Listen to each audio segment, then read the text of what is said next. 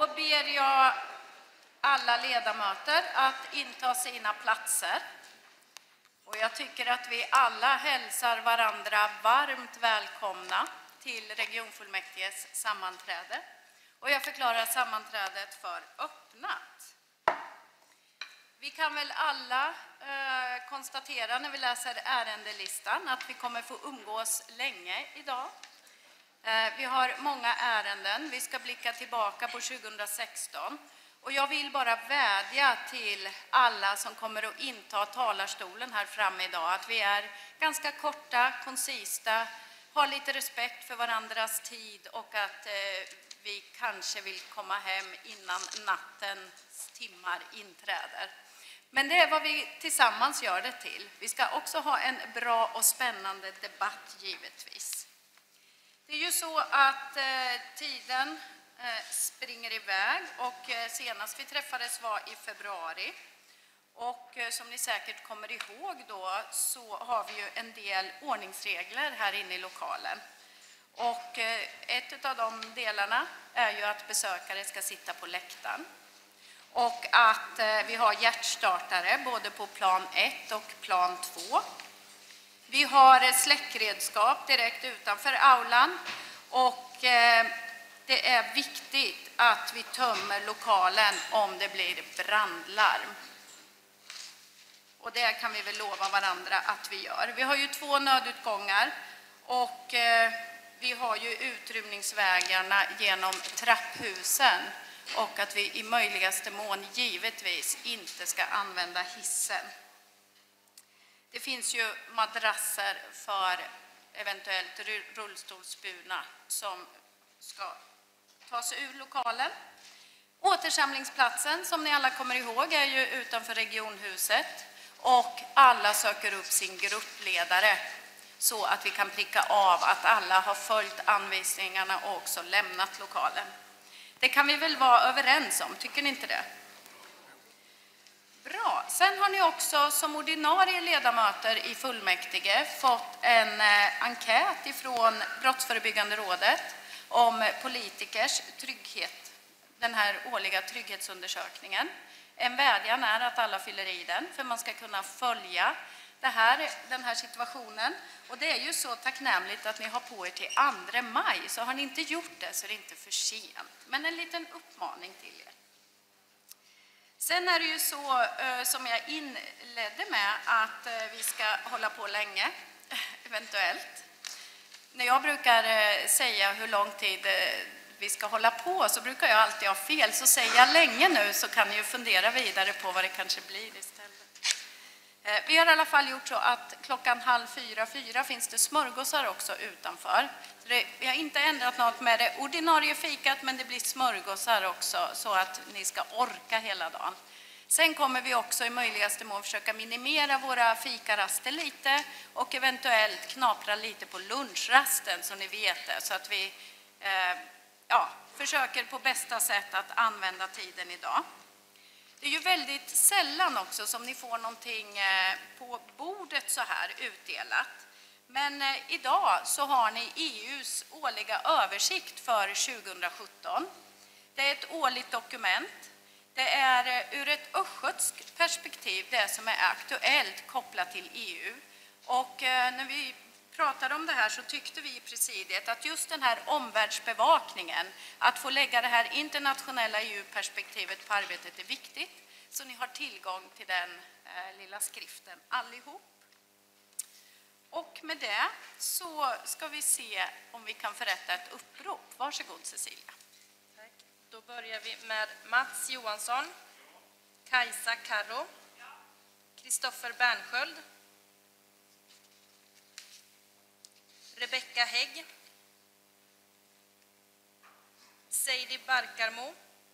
Ersätter Hans Elf, Rita Leiviske Widlund, Linus Emott, Helene Andersson Molina, Börje Lindholm. Ersätter Jörgen Oskarsson, Kristina Hasselroth, Niklas Andersson, Britt Olausson, Olle Wikmång, Anna Larsson, Martin Tholén, Jan Sundin, Ersätter Lena Westerlund. Yvonne Gustafsson. Ersätter Per-Arne Larsson. Birgitta Larsson. Sonny Knutling. Madeleine Wilgren. Mikko Månsson. Ann-Charlotte Wiberg. Linda Hybsch. Efat Seidy. Claes Corbelius. Birgitta Westman Tyrsson. Alma Basic. Camilla Jonsson. Ersätter Lisa Enqvist. Rainer Fredriksson. Anna-Lena Svensson. David Ergyl. Tord Borggren Karlsson. Ersätter Billy Gustafsson. Jan-Erik Persson. Ersätter Emelie Dahl. Orlando Cardenas. Ersätter Elisabeth Edlund. Peter Hermansson. Hildegard Jarskog. Cecilia Gyllenberg Bergfast. Peter Norlinge. Margareta Fransson. Katarina Engström. Bengt Nordström. Ersätter Svedjeta Stojnik Karlsson. Jens Lindell. Ersätter Bengt Sete. Torbjörn Holmqvist. Louise Holm. Ersätter Kerstin Nordenberg. Maria Almesåker. Inga Arnell Lindgren. Ersätter Julie Tran. Göran Gunnarsson. Lena Berglert. Ersätter Birgitta Gunnarsson. Mikael Cornell. Carola Andersson. Kerstin Sjöberg. Monica Broman. Britt-Marie Söderberg. Anita Jernberger. Jessica Ek. Franco Sinsik. Madeleine Pavlidis. Alexander Höglund. Malin Öst. Emil Broberg. Draginja Femik. Ricardo Olivares. Anders Eksmo. Lena Kecker Johansson. Torgil Slatte. Nils-Ingvar Gran. Stefan Redén. Per Larsson. Marie Morell. Fredrik Sjöstrand. Bo Lennhammar. Eva Cox. Claes Hallert. Åke Karlsson. Ersätter Peder Drott. Viola Ingvarsson. Ersätter Monica Gideskog. Jan-Ove Larsson. Eva Hermansson. Ersätter Per Jameson. Fredrik Lundell. Jerker Karlsson. Torolf Nilsén. Jörgen Olofsson. Ulla Odell. Hanna Österman. John Winerhall. Bertil Wahlbom. Åke Svensson. Gary Sparborn. Tommy Elström. Torgny Mauer. Ersätter Sonny Persson. Kristina Nilsson. Ersätter Rickard Svensson. Klara Aranda. Elin Pettersson. Jenny Ivarsson.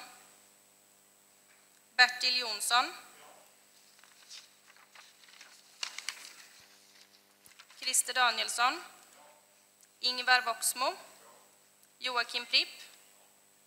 Rolf Dahl. Ann-Katrin Hjärt. Johan Thorén. Eva Andersson. Ja. Och med det frågar jag fullmäktige om vi kan notera att uppropet eh, är genomfört.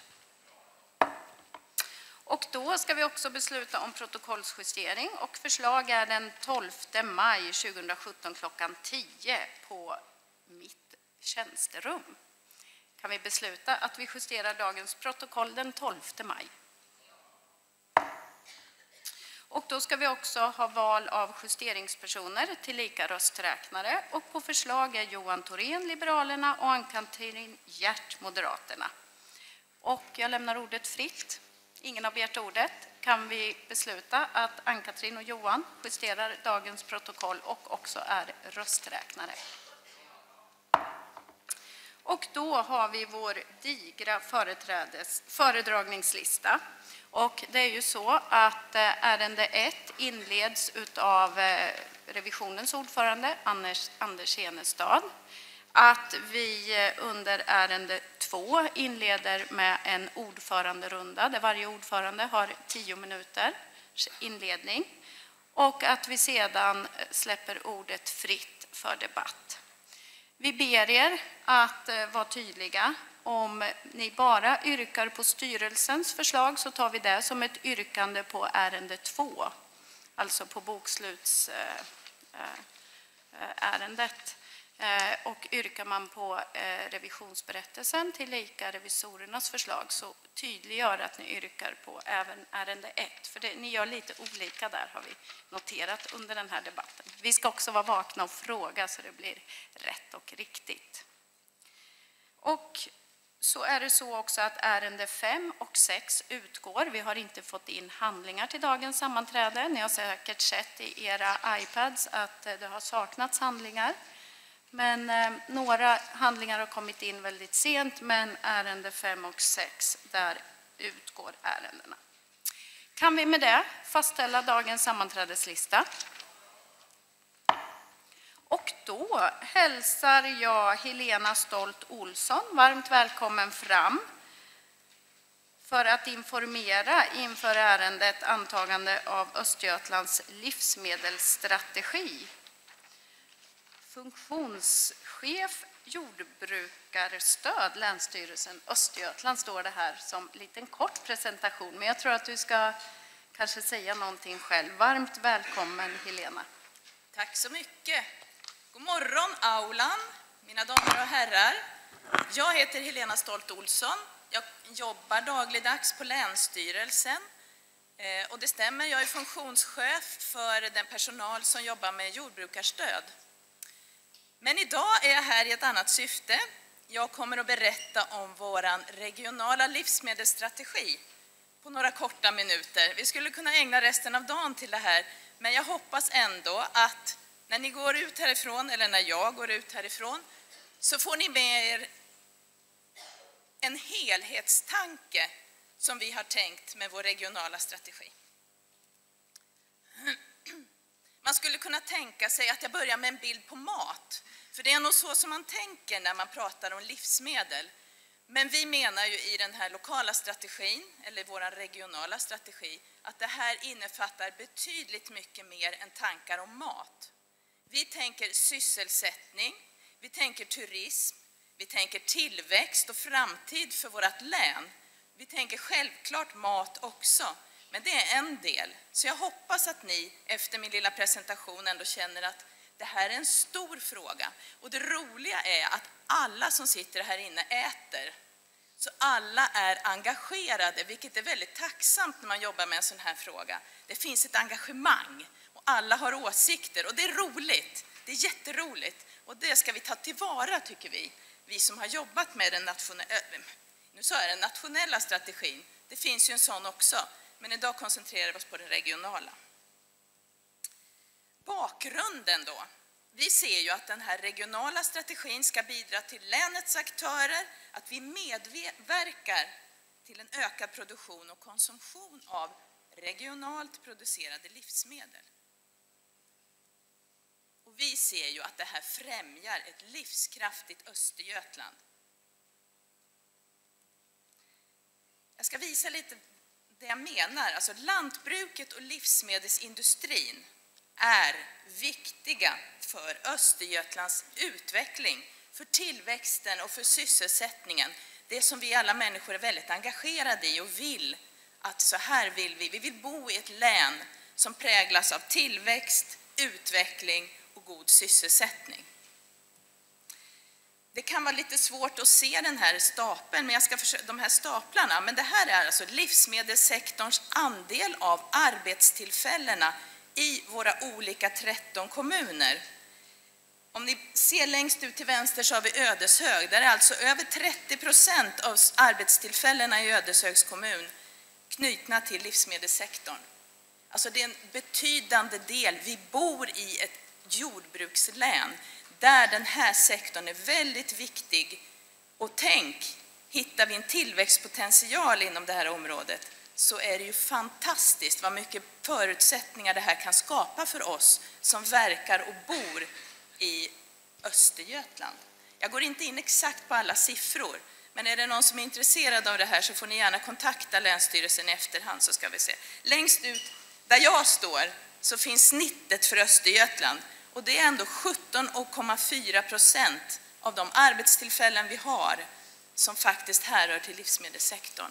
Så det här är en viktig, viktig del av vårt näringsliv. Den regionala livsmedelsstrategin den beskriver en gemensam färdriktning. Alltså det är som ett paraplydokument och det beskriver hur vi i Östergötland ska ta tillvara livsmedelsbranschens utvecklings och tillväxtpotential.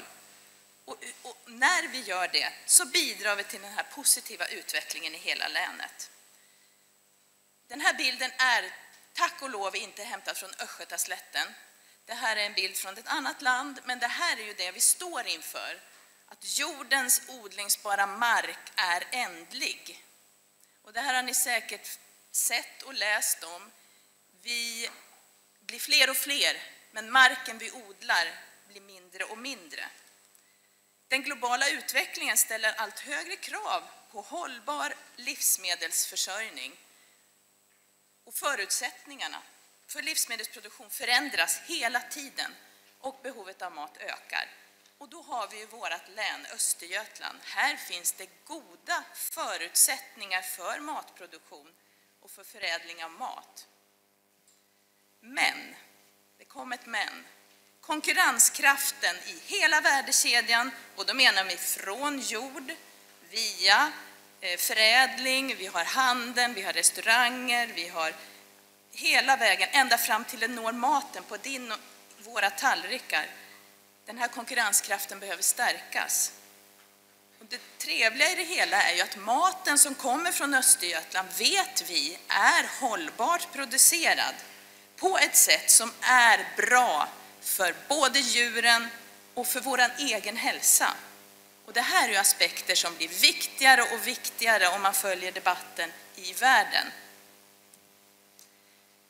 Ett budskap som jag skulle vilja skicka med er, det är att vi ska se på lantbruksföretagen och livsmedelsföretagen som tillväxtföretag. Jag vet inte vad ni sitter för, för bild i eh, när ni får reda på, när ni, vi pratar om lantbrukare. Jag såg en väldigt rolig eh, film där man hade frågat en massa barn, när de frågade vad är en, en lantbrukare? Och då sa alla de barnen, han har halmhatt, sa de. Det är inte så vi ser på lantbrukaren, den moderna lantbrukaren i Östergötland idag. Det är en framtidsorienterad, intresserad och utvecklingsbar företagare. De står inför enorma utvecklingsmöjligheter. Och tänk vilken fantastisk tillväxt om vi får de här lantbruksföretagen och livsmedelsföretagen att växa. Det här är en fantastisk utmaning för alla oss. Men det är ju inget man gör bara för att det är roligt. Man är ju lantbrukare och livsmedelsföretagare därför att man också vill ha en dräglig tillvaro. Man vill ju få ihop sin vardag och sin ekonomi. Så, den regionala livsmedelsstrategin, det här är ju en sån enormt stor fråga så vi har valt att dela in den i fyra lika viktiga arbetsområden. Ett heter kund och konsument. Inom den här arbetsgruppen så driver vi frågor mycket angående information. Information till oss som sitter här inne, information till skolor, till handlare, till restauratörer. Och då handlar det om att beskriva mervärdet av att välja de produkter som produceras i vårt närområde. Vi har en grupp som jobbar med konkurrenskraft. Och det här gäller att se lantbruksföretagen som en tillväxt och att få lantbrukare och livsmedelsföretagare att ha ett tillväxtfokus. Det här är viktigt. Jag går, lite, jag går inte in på varenda mål, men jag tar lite övergripligt. Vi har ett ben som jobbar med offentlig upphandling, en viktig del. Vi som jobbar i det offentliga, vi har ju ansvar för vad vi serverar i våra skolor, äldrevård, hur vi ändå tar ansvar för det som vi levererar ut till våra medborgare. Trygghet, fjärde gruppen. Den här har blivit mer och mer aktuellt. Och med trygghet menar jag ett, beredskapsmöjligheter i händelse av kris. Vad händer om tillfartsvägarna stoppas? Om våra drivmedel plötsligt inte går att importera, vad händer med Östergötland då? Om vi inte har livsmedelsförsörjning på plats. Men trygghet också för oss är produktionen av maten. Tryggheten i att veta att den är producerad till exempel utan antibiotika. För diskussionen i världen är ju att här har vi ett problem. Vi har en ökad resistens, den här överanvändningen av antibiotika i produktionssystemen. Här har vi en trygghet i att våran mat som vi producerar här är trygg. Jag vill visa några bilder. Vad händer om lantbrukarna lämnar vårt län? Om vi säger att det är dålig utveckling. De här bilderna är tagna på exakt samma ställen. Den första är tagen 1984 och den andra 2011. Så fort de betande djuren lämnar våra marker så växer de igen. Det här är också samma ställe, exakt samma ställe. 1984 mot 2012. Vad händer med landskapet när de livskraftiga lantbruksföretagen lämnar? Jo, vi får en igenväxning och då plötsligt är vi inne på andra frågor. Vi pratar attraktivt boende, vi pratar turism. Ni ser, den här frågan kan bli hur stor som helst. Och det här går fort. Så fort djuren lämnar landsbygden så har vi... Dessutom har vi en diskussion om biologisk mångfald. Eh, det är inte mitt ämnesområde, men det finns ju också en utarmning av den artrikedom som vi har när vi låter landskapet växa igen. Så, lite sammanfattning så här. Vi känner då, det här initiativet till den regionala strategin är ju taget tillsammans, Region Östergötland och Länsstyrelsen eh, har tillsammans skapat det här arbetet. Och vi gick igång lite tidigare, den nationella strategin kom senare. Men vi har, när man tittar och jämför vår nationella strategi som är tagen med bred förankring eh, med vår regionala så pratar vi om exakt samma saker i stort sett. Men vi måste bestämma oss för att vi vill ha, alltså vill vi ha en stark inhemsk livsmedelsproduktion eller inte? Och då pratar vi riksnivå, vi pratar regional nivå och vi pratar lokal nivå. Vi måste bestämma oss. Och vi känner att vi måste hjälpas åt för att sprida de här argumenten. Varför? Varför vill vi ha en stark livsmedelsproduktion? Och det jobbar ju vi med internt inom våra organisationer men också externt ut mot östgötarna. För det spelar roll vad vi väljer för ost när vi står där i mjölkdisken. Varje persons insats är viktig, speciellt ost, eftersom det går så mycket mjölk till en, ett kilo ost. Så det vi gör är att vi arbetar aktivt i alla de här fyra områdena. Vi ser ju dem som lika viktiga att driva framåt. Eh, och det arbetet är ju någonting som kontinuerligt görs. Eh, vi är just nu ute på en turné vi är en liten delegation från den regionala livsmedelsstrategin som åker runt i länets samtliga kommuner. Vi har hunnit med fem stycken och eh, vi tuffar på och målet är att vi ska hinna besöka alla 13 kommuner fram till sommaren. Och där presenterar vi det här och, och frågar vad kan vi göra för er? Kan vi ordna nätverk? Hur kan vi stötta er med inspiration för att ni ska fortsätta att verka inom andan av detta. Och sen är ju ett budskap också, och det gäller ju den här salongen men också många kommuner, att man blir bättre på att se primärproduktionen, alltså lantbrukarna, som en näringslivsgren. Att man bjuder in dem när man har seminarier, affärsutveckling, för det här är en väldigt, väldigt viktig del av vårt näringsliv. Ja, vad händer då om vi väljer lokal och närproducerad mat? Hur påverkar det vårt län? På många olika sätt. Det här blir som en liten sammanfattning. Jag hoppas att ni har förstått att vi menar att det här påverkar regionens utveckling och att vi ser livsmedelsproduktionen som näringslivsfrågor som är viktiga för alla oss som bor här. Vi pratar arbetstillfällen. Livskraftiga lantbruk och livsmedelsproduktion kunde alla anställa någon till. Ni förstår utifrån de kurvorna att det är många som jobbar inom den här branschen. Och 30 procent i Ödeshög, skulle, den kunna skulle de kunna anställa någon mer? Ni förstår vilken fantastisk utveckling angående sysselsättning vi kan få igång. Vi vill också värna den biologiska mångfalden. Vad händer om vi konsekvent handlar produkter från andra länder och låter vår betesmark växa igen? Vi tittade på bilder alldeles nyss. Men också det här med turistlän. Man hör om det här med aktiv matturism, att kunna erbjuda besökare eller kanske presumtiva inflyttare att komma till vårt län och titta och besöka de här fantastiska företagarna som finns runt om i länet. Men också naturturism. Det här sköter sig inte själv, utan det krävs att vi hjälps åt och värnar vårt landskap. Vi pratar också aktivt boende, eller attraktivt boende menar jag. Att bo i ett län som ser välmående ut och som har en infrastruktur och som har möjlighet till attraktivt boende.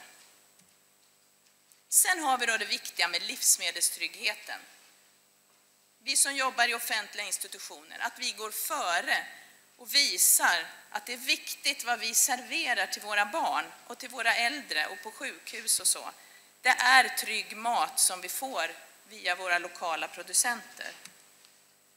Sen tog jag med också det här med pedagogik. Våra unga är ju oerhört receptiva. Varför inte börja där också? Se till så att man får följa med ut på lantbruk och se hur maten produceras. Var kommer maten ifrån? Det här går ju bara om vi har ett aktivt lantbruk att kunna visa upp. Sen är det punkt, punkt, punkt, punkt. Det finns massor med fler eh, punkter. Ja, det här är raps. Jag tänkte avsluta där. Eh, typ. Ja, Typ. så. Typ. Tack så mycket. Då ska vi se om det finns någon kort kunskapsfråga. Och I så fall ber jag den komma upp. Det verkar inte göra så. Vi kommer tillbaka till livsmedelsstrategin. Så att eh, vi tackar så mycket för den informationen.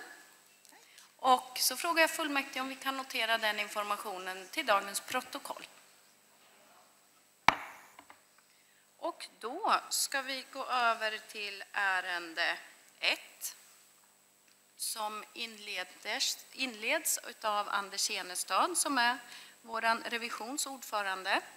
Han kommer dels inleda vad det gäller revisionsberättelsen för 2016 och också anmäla de rapporter som eh, ligger i handlingarna idag. Alltså ärende 32, revisionsrapport, granskning av årsredovisningen 2016. Ärende 33, revisionsrapport, intern kontroll i bemannings och rekryteringsprocessen. Ärende 34, revisionsrapport, investeringar i de nationella invånartjänsterna 1177, effekter i den egna regionen. Ärende 35, revisionsrapport, ledning och styrning genom fullmäktiges mål och beslut. Och ärende 36, revisionsrapport, verksamhetschefens förutsättningar att ta sitt ledningsansvar ur ett arbetsmiljöperspektiv. Och vad det gäller ärende 1, revisionsberättelsen, så lät det något annat här som kom in. Det var inte meningen att det var en del av revisionsberättelsen. Det var någon iPad som styrde iväg lite. Eh, på ärende 1 är det viktigt att vi också noterar att de närvarande som var ledamöter av eller ersättare i regionstyrelsen eller övriga nämnder 2016 deltar inte i beslutet om ansvarsfrihet i de delar det gäller dem själva. Och det är viktigt att vi också noterar det i protokollet. Och med den inledningen, Anders, så lämnar jag ordet till dig. Varsågod. Tack så mycket, fru ordförande.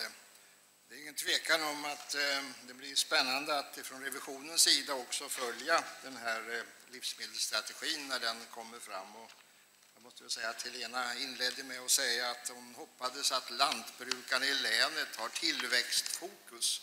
Och det tror jag säkert de har just nu under våren, att skördarna blir bra.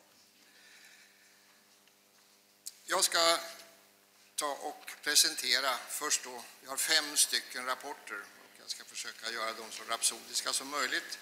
Och det är de här fem rapporterna som finns också i, i er eh, på er agenda. Jag kommer att avsluta med granskningen av årsredovisningen 2016 för att däröver, därefter gå över på eh, revisionsrapporten. När det gäller investeringar i de nationella invånartjänsterna 1177 så är det ju stora investeringar som eh, alla landsting och regioner har gjort och som staten också har gjort. Och det vi vill se det är ju då också att vi får en uppväxling, det vill säga att vi får bra effekt på de här investeringarna. Mot den bakgrunden då så ställer vi följande revisionsfråga. Säkerhetsställer Region Östergötland att de medel som vi har investerat i invånartjänster ger önskade effekter i den egna regionen? Jag kan väl säga det också som jag nämnde vid förra tillfället att eh, det här är ju då en, eh, en granskning som inte bara görs i Östergötland utan vi gör den också tillsammans med ett antal andra regioner och eh, landsting. Jag återkommer till det. Vi har alltid ett antal kontrollfrågor. Dels en övergripande fråga och sen har vi kontrollfrågor. Och den första kontrollfrågan som vi ställer oss är om regionen har en tydlig styrning av vårdgivare sett till användning av tjänsterna. Och vi kan konstatera att de dokument som finns där och de, eh, de handlingar man ska använda sig av, att de, de är tydliga och vi tycker att det är väl uppfyllt. Men sen kommer nästa del. Finns det vad vi kallar då för etablerat arbetssätt för implementering av tjänsterna? Och där kan vi konstatera att eh, vårdcentralerna inte alltid har anpassat sig, som jag har sett i nästa punkt här då, till eh, de här arbetsprocesserna. Man arbetar väldigt mycket utifrån de processer man redan har. Man utgår alltså från verksamheten, sin egen verksamhet. Men det som däremot fullmäktige har varit väldigt tydlig med så är det ju att eh, man vill att det här ska arbetas utifrån ett eh, medborgar och patientperspektiv. Och vi kan där konstatera att man inte riktigt arbetar på det sättet.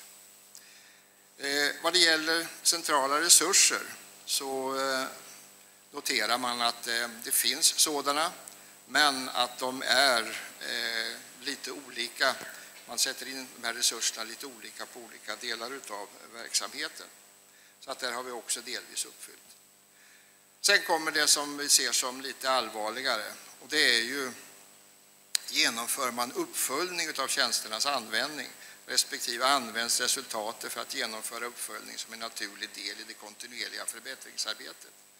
Och likaså där så är det dåligt med uppföljningen, särskilt ur ett medborgar och patientperspektiv.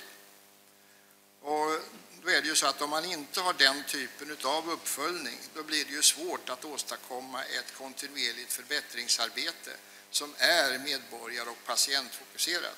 Det blir väldigt mycket ur verksamhetssynpunkt där man noterar hur många det är som har varit inne på olika delar av de här eh, webbtjänsterna. Så vi tror att där finns en ordentlig eh, förbättringspotential för eh, verksamheten att genomföra. Det som man nationellt har sagt att vi måste uppmärksamma väldigt ordentligt när vi går över på, allt, på att använda allt flera e-tjänster så är det att ta hänsyn till de grupper som inte kan använda tjänsterna så att inte de får en försämrad tillgänglighet. Och där har man uppmärksammat på nationell nivå och vad vi kan konstatera att eh, vad det gäller Östergötland så är inte, det är ingen stor fara med detta utan man har klarat att också se till att de här grupperna får tillgänglighet.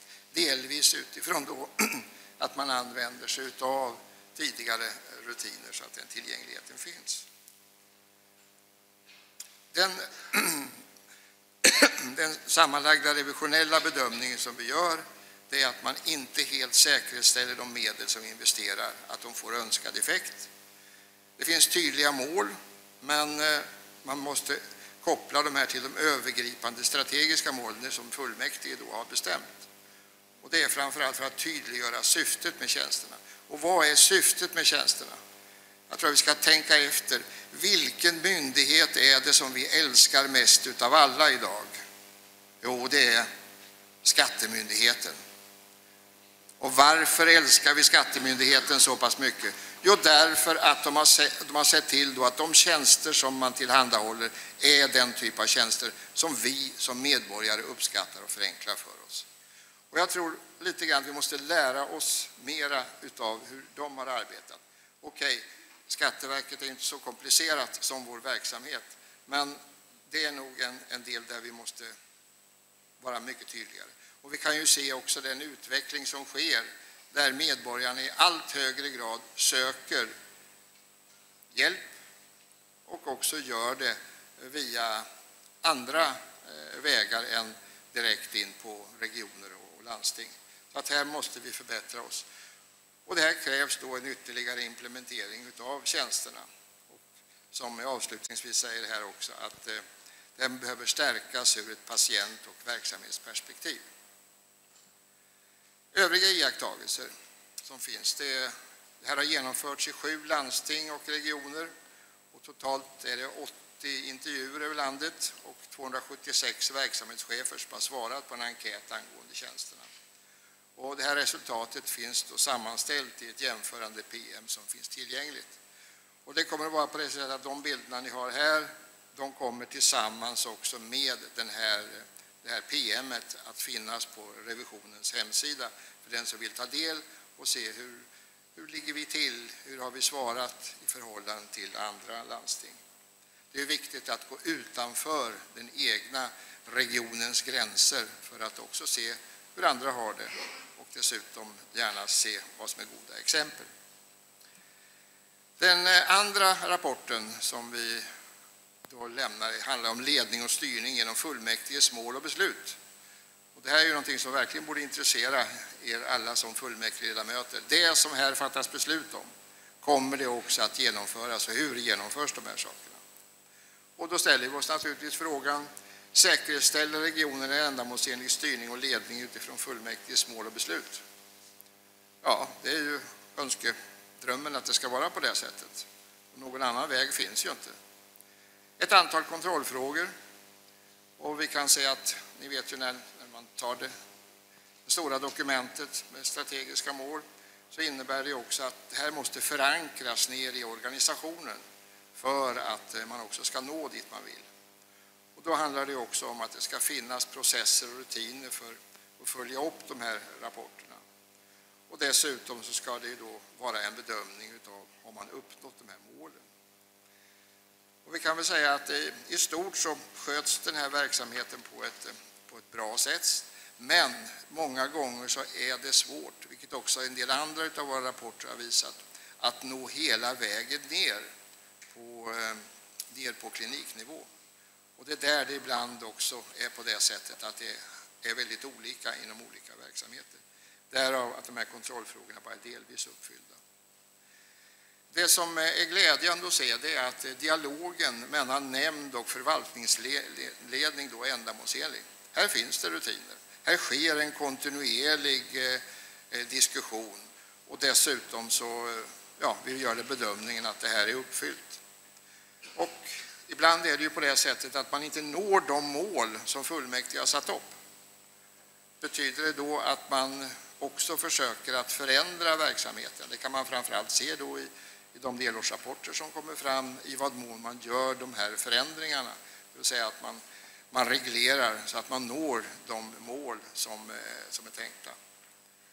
Och eh, då frågar vi oss naturligtvis också, finns det då processer och rutiner för att hantera och följa upp fullmäktiges fattade beslut i organisationen? Och det finns det delvis, men inte hela vägen igenom. Det finns alltså en förbättringspotential.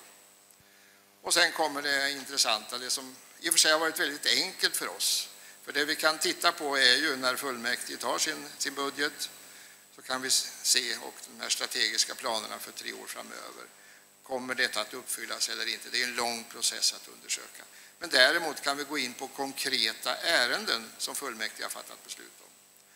Och vi har där kunnat konstatera att, ja det har ju fullmäktige själv konstaterat, att i ett fall förra året så var det ju ett beslut som, som aldrig blev effektuerat, men det effektuerades ju genom att fullmäktige tog upp det igen.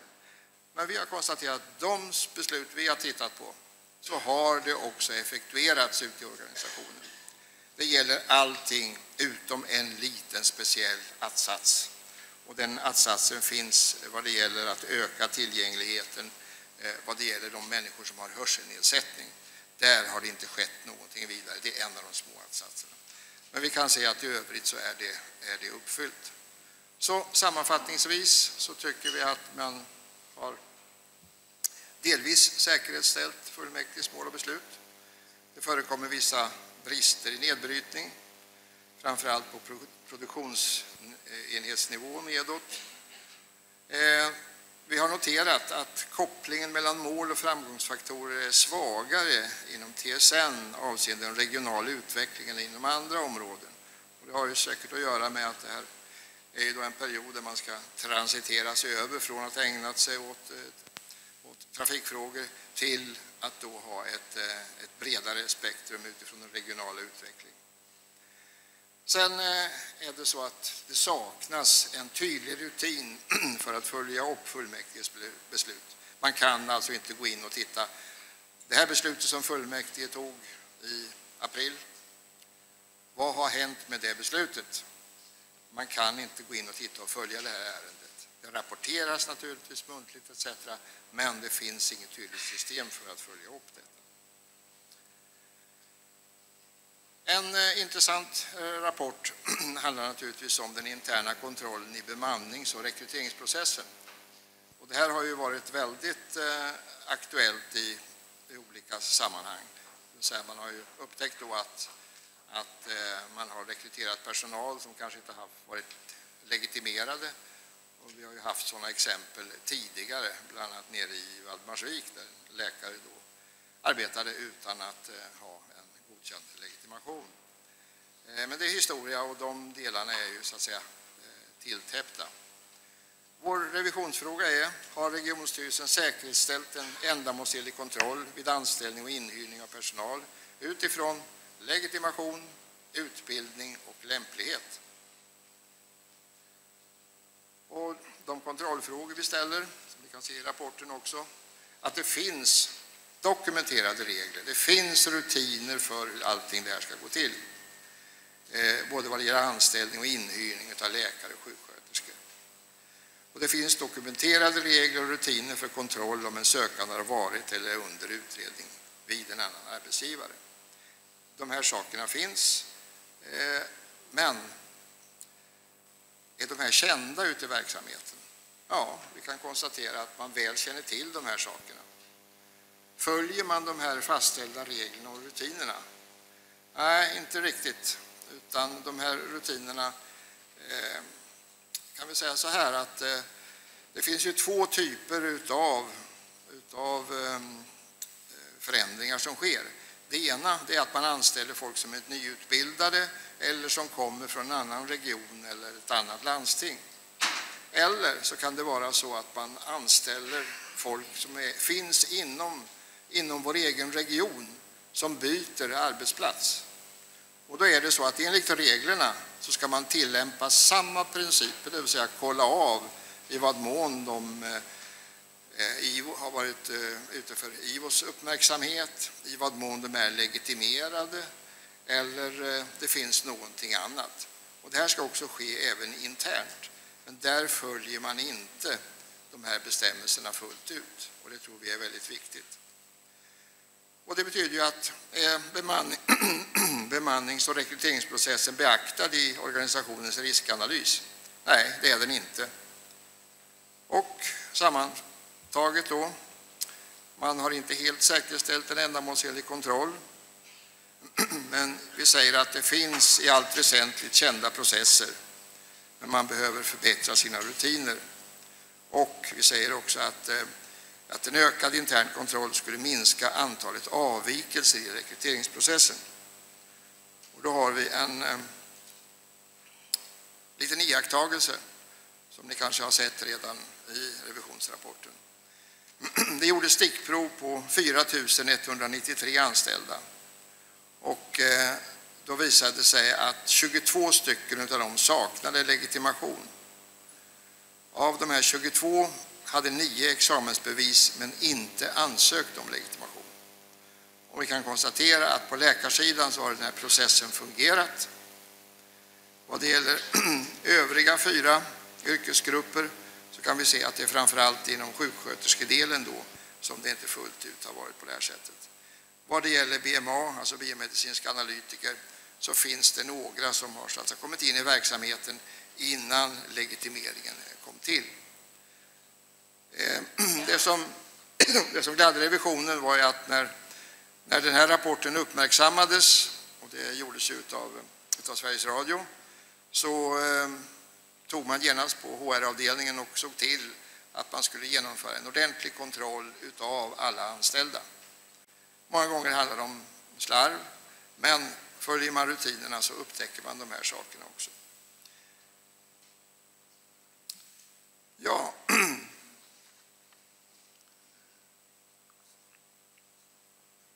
Hurdant är det med våra chefer? Har eh, regionstyrelsen givit dem ett ordentligt, eh, ordentliga förutsättningar att ta ett ledningsansvar ur sitt arbetsmiljöperspektiv? Ni som eh, lyssnar på radion på morgonen vet ju att man på många håll arbetar just med detta att få ner antalet antalet personer som chefer är ansvariga för. Eh, den region som nu var aktuell, så var det Västra Götaland som då eh, har, har satt som ett mål att eh, man ska ha betydligt färre människor ansvariga för. Det tror jag är rätt väg att gå. Men den fråga vi ställer oss är, har regionstyrelsen gett tillräckliga förutsättningar för verksamhetschefen att utöva sitt ledningsansvar? Och där har vi ett antal kontrollfrågor också. Innehållet i ledningsansvaret, har man tydliggjort det? Ja, i stort sett. Begreppen patientsäkerhet, god kvalitet, kostnadseffektiv arbetsmiljö, är de väl definierade inom respektive område? Också i stort sett. Är kompetenskraven tydliggjorda och tillgodoses kompetensbehoven? Ja, delvis också uppfyllt sker en fortlöpande uppföljning och rapportering av hur verksamhetschefernas ledningsansvar utövas och fungerar. Jag går inte in på de här enskildheterna nu, utan den totala bedömning som vi gör det är att man inte har gett verksamhetscheferna tillräckliga förutsättningar för att utöva sitt ledningsansvar. Och det här har ni sett också i andra rapporter som vi har pekat på. Bekymret är ju alltid mellancheferna då som har trycket uppifrån och trycket nerifrån men inte har de redskap som behövs.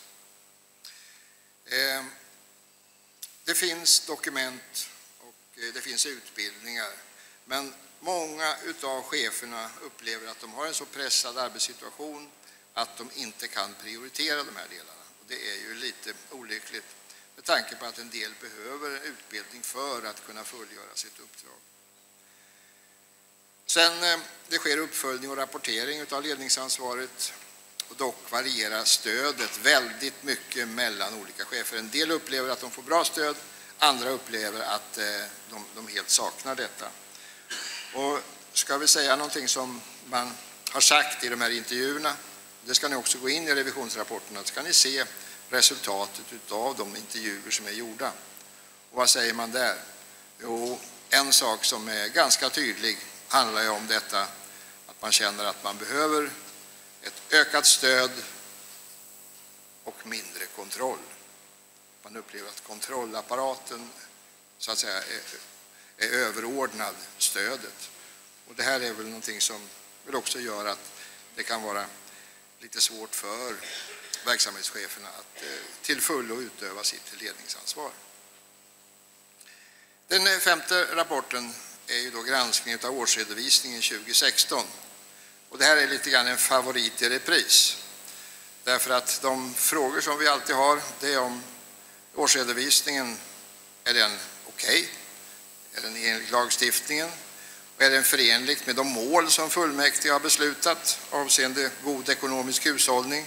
Och är räkenskaperna i allt väsentligt rättvisande? Och där är det ju så att eh, de sakkunniga i sin rapport är betydligt, eh, ska vi säga, de ser till vad lagen säger. Det har jag sagt vid många olika tillfällen. Och eh, det gör att vi ifrån eh, de förtroendevalda revisorerna har en delvis annan uppfattning. Det första är, har regionen uppfyllt kravet på god ekonomisk hushållning? Och det är det ju på det sättet att ni, har, ni känner ju till 2-procentsmålet, det vill säga 2 procent av skatter och generella statsbidrag, att det är det man ska uppnå. Det har man gjort. Det var den andra delen. Jo, det är ju det egna kapitalet. Det egna kapitalet då vill man ha till minst 500 miljoner. Och har man gjort detta, ja, det har man till råge klarat av också i år. Vilket betyder att kravet på god ekonomisk hushållning är uppfyllt. Men, som vi har sagt i tidigare rapporter också, det finns ett antal produktionsenheter som har stora ekonomiska problem. Och vi vill betona igen vikten av att man tar tillräckliga åtgärder för att nå en ekonomi i balans för de delarna. Det här är lite grann en 10 000 kronors fråga. Klarar man av den delen? Och jag vet ju att man arbetar med det, man har olika typer av lösningar, men ännu har vi inte sett att man har nått den här balansen. Vad det gäller räkenskaperna så konstaterar vi återigen att lagar och rekommendationer gäller värdering av fondplacering. Det är detta med fullfondering som vi tillämpar, medan däremot blandmodellen, som då innebär att man inte tar hänsyn till hela pensionsskulden, är vad som ska göras enligt lagen. Och värderingen av fondplaceringar handlar också om den värdering som vi gör på bokslutsdagen, inte är den som ska göras enligt eh, lagstiftningen. För eh, lite mer än ett år sedan, närmare beställt 13 månader sedan, i mars 2016, så lades fram ett betänkande som skulle då innebära att Region Östergötlands sätt att arbeta med de här frågorna också skulle vara någonting som skulle förändras i lagstiftningen. Efter lite mer än ett år så har ingenting hänt och eh, det tycker vi är lite tråkigt. Men vi förmodar att det är förmodligen på det sättet att eh, skulle det här genomföras så skulle det innebära stora problem för många av landets regioner och kommuner som inte har tillämpat den här typen av värdering som, som eh, Östergötland har gjort under, under alla år. Men eh, vi får se. Någon gång kanske det också blir lag. Ja, om nu kommer in på den här väsentliga delen vad det gäller revisionsberättelsen.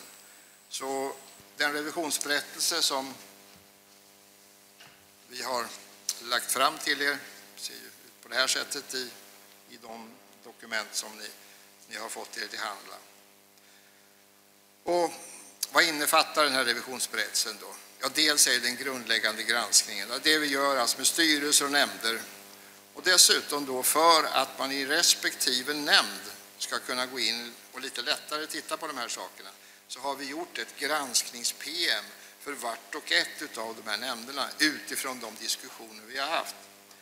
Och särskilt i de nämnder och styrelser där man inte har varit med i den här diskussionen kan det vara intressant att ta del av de här promemoriorna. Vi har gjort eh, nio fördjupade granskningar och de, en del, några av de här kommer också upp under, under dagen. Vi granskar årsredovisningen och delårsrapporten. Det gör vi enligt den lagstiftning som finns. Lekmannarevision det finns ju då i, bland annat i våra bolag där våra revisorer arbetar tillsammans med de auktoriserade eller godkända revisorerna i respektive bolag. Dessutom granskar vi stiftelser och samordningsförbund. Vad gäller samordningsförbund så är det en återkommande visa som vi kommer tillbaka till, nämligen att revisionsberättelserna aldrig finns fram i tid. Och då kan man ju alltid undra vad beror det på? Beror det på de lekmannarevisorer som finns? Nej, det kan jag försäkra er om att därvidlag har saker och ting skötts. Men däremot så är det så att på den statliga sidan så är man väldigt, väldigt, väldigt sen. Och det här kan ni som har varit med länge vittna om att ibland kommer de ett, ett eller ett par år efteråt. Eh, men det här är någonting som vi har påpekat. Revisionsberättelsen för 2016 och det här gör ju sammantaget då att det leder till att vi uttalar oss om årsredovisningen och frågan om ansvarsfrihet för nämnder och eh, styrelser. När vi tar upp detta med ansvarsfrihet så eh, är det ju på det sättet att vad vi prövar så är det ansvaret i respektive nämnd och styrelse. Och då är det på det sättet att en nämnd är ansvarig för verksamheten det gäller oavsett om man är i opposition eller om man är i majoritet, så, är man, så har man ett kollektivt ansvar. Och det innebär att man måste ta aktiv del i verksamheten och också se till, om man har annan av, avvikande uppfattning, att detta också finns med, så att man tydligt kan se det arbetet. Men det som också har förts in, så är det det enskilda ansvaret. Jag vill här betona att det enskilda ansvaret har man som förtroendevald när man väljs in i eh, en nämnd eller styrelse, antingen som ordinarie eller också som ersättare, så har man ett enskilt ansvar. Och vad är det ansvaret? Jo, det ansvaret är att ta del av arbetet, läsa in handlingar, diskutera saker och ting i partigrupper och sen också i, i respektive nämnd och styrelse. Då tar man en aktiv del. Vad vi har sett det är att eh, vi har gått in lite grann och tittat utifrån några exempel. Så har vi gått in och tittat på hur ser närvaron ut under 2016 i våra styrelser och våra, våra nämnder och till en del också i våra bolag. Och eh, det är ju så att när man har ett nät, om det är grovmaskigt, då vet ni att då är det bara de stora fiskarna. Är det lite mer finmaskigt så får man ju med väldigt mycket. Och vi kunde konstatera där att eh, det fanns en styrelse då som hade skött sig i det hänseendet. Det vill säga att folk har varit närvarande och tagit del av verksamheten. Det är styrelsen. I övrigt så fann vi att det fanns ledamöter, när jag talar om ledamöter så gäller både ordinarie och ersättare då som i några fall inte ens hade varit med under mandatperioden. Eh, mandatperiodens början kanske de hade varit en eller två gånger. Sen har de inte varit med och visat sig överhuvudtaget.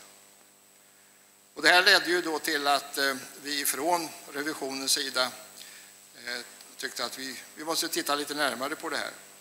Så vad vi gjorde var att vi eh, kallade in då alla som vi upptäckte att de inte hade närvarat på ett, på ett tillfredsställande sätt.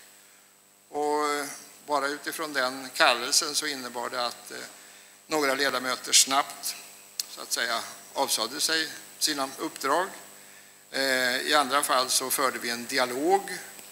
Eh, I några fall så konstaterade vi att det fanns skäl till att man inte hade kunnat eh, närvara.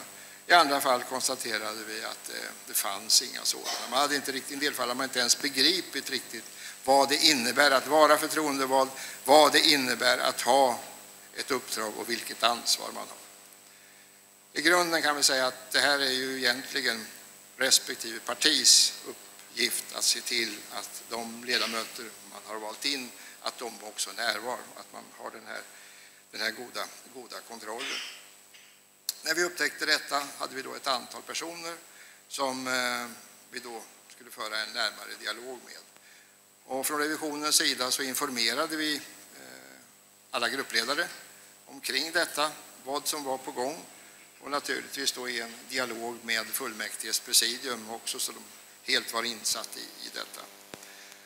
Eh, vi arbetade ganska ordentligt med detta och eh, efterhand så inkom den ena avsägelsen efter den andra. Och då hade vi som princip, då, eller vi sa så här att det, man kan då som revision så kan man då säga att man inte beviljar ansvarsfrihet och sen kan man som en följd av detta bland annat då ta till det hårdaste att föreslå då att vederbörande blir entledigad. Och sen är det då fullmäktiges sak att avgöra i vad man ska entledigas eller inte. Jag har varit väldigt tydliga med de som vi har pratat med. Och ehm, ja, det som sen hände, det kan vi se fortsättningsvis här. Vårt uttalande i ansvarsfrågan. Och det är först om årsredovisningen 2016 där, tillstyr, där tillstyrker vi att regionens årsredovisning godkänns. Vad det gäller patientnämnden så eh, likaledes där utifrån då en avsägelse så tillstyrker vi att ledamöterna i patientnämnden beviljas ansvarsfrihet. Vad det gäller samverkansnämnden för sydöstra sjukvårdsregionen så har vi där så att säga eh, funnit att närvaron har kunnat varit bättre men att det har funnits eh, plausibla förklaringar till varför man inte har kunnat närvara i den, i den grad som det behövs. Och vi tillstyrker att ledamöterna i samverkansnämnden i sydöstra beviljas ansvarsfrihet. Och det är viktigt att komma ihåg att det är bara vi som kan bevilja ansvarsfrihet för de ledamöter som vi har utsett, inte för de andra. Det är de andra som får göra det i regionen. Vad gäller trafik och samhällsplaneringsnämnden, likaledes där också en som avsade sig. Och vi tillstyrker följaktligen trafik och samhällsplaneringsnämnden beviljas ansvarsfrihet. Regionutvecklingsnämnden, även där har vi då haft en avsägelse och tillstyrker att man beviljas ansvarsfrihet. Sen kommer vi till hälso och sjukvårdsnämnden. och eh, vi kan väl säga så här att eh, eh, vi har lagt ner ett ordentligt arbete på att eh, redogöra för den ledamot som princip har varit närvarande två gånger under 2015 men ingen gång under 2016 och ingen gång heller tror jag under 2017. Eh, vikten av att man, man deltager och att, att man tar sitt ansvar. Och efter ungefär 20 samtal och eh, 15 eh, sms och eh, ja, vederbörande har inte haft tid att komma till, till revisionen så eh, tvingades revisionen då att eh, göra följande det vill säga tillstyrka att ledamöterna i hälso och sjukvårdsnämnden beviljas ansvarsfrihet med undantag av ledamoten Jenny Ivarsson. Och eh, kan man säga så här att utifrån den rapporten då som revisionsrapporten, när den kom fram, så av någon underlig anledning på natten då så kom det en avsägelse, men revisionen har uttalat detta, alltså ansvarsfrihet för hälso och sjukvårdsnämnden med undantag av den här ledamoten. Och vad gör regionstyrelsen så tillstyrker vi att ledamöterna beviljas ansvarsfrihet. Ja, det var det hela. Och som, om vi återvänder bara ett kort ögonblick till samverkansorganen. I östra, centrala och västra så har revisionen inte kunnat så att säga, gjort någonting därför att vi inte har fått in eh, någonting från den statliga. Men däremot ifrån, vad heter den här orten väster om Norrköping, eh, Finspånga, Finspång, ja, det är samordningsförbundet däremot har inkommit och skött sig på ett, för det här tillfället i alla fall, exemplariskt sätt. Och med detta, fru ordförande, så lämnar revisionen de här rapporterna. Och det här kommer att, de här bilderna som jag har sett här kommer att finnas på vår hemsida och dessutom den här rapporten som visar hur det ser ut i de övriga landsting. Tack så mycket. Tack så mycket Anders. Och eh, då ska vi eh, gå in på ordföranderundan vad det gäller ärende två. Men innan vi gör det så ska vi från presidiet bara tydliggöra, och jag kommer också lägga det som ett förslag sen, att i konsekvens med den process som har varit eh, kopplad till de ledamöter som inte har varit aktiva och närvarande och de avsägelser som har kommit in så kommer presidiet att föreslå fullmäktige att vi ändrar eftersom den ledamot i hälso och sjukvårdsnämnden som eh, är på förslag från revisionen att inte beviljas ansvarsfrihet beviljas ansvarsfrihet som, eh, eftersom avsägelsen har kommit in innan fullmäktige ska fatta beslut. På så sätt är vi konsekventa och hanterat alla ledamöter lika ur ett fullmäktigeperspektiv. Så vi kommer att, att föreslå eh, den förändringen eftersom avsägelsen har inkommit. Och jag ville bara, eh, och gruppledarna fick också det meddelat till sig igår. Eh, och med det så går vi in på gruppledarrundan, eller inte gruppledar, ursäkta, nämndordföranderundan ska det ju vara. Och eh, först ut på den är regionstyrelsens ordförande Mats Johansson, Socialdemokraterna. Och varje ordförande har tio minuter anförande. Varsågod Mats. Tack för det. Tack presidium, tack eh, fullmäktige. Ehm,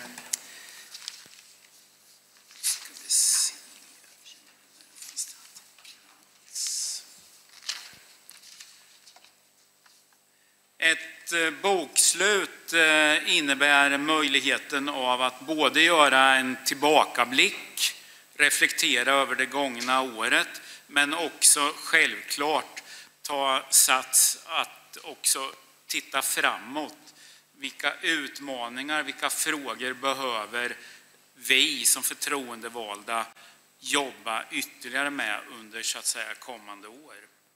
Eh, och det perspektivet kommer att finnas i, i mitt anförande eh, idag. Både så att säga en tillbakablick men också kommer jag att lyfta ett par frågor som jag tror är oerhört viktiga för, för den framtida utvecklingen.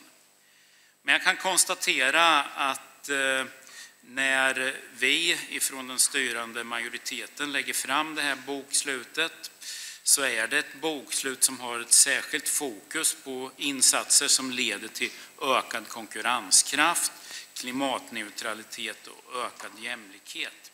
Det finns också ett tydligt medborgarfokus i så att säga, det här bokslutet och i den verksamhet som vi nu redovisar.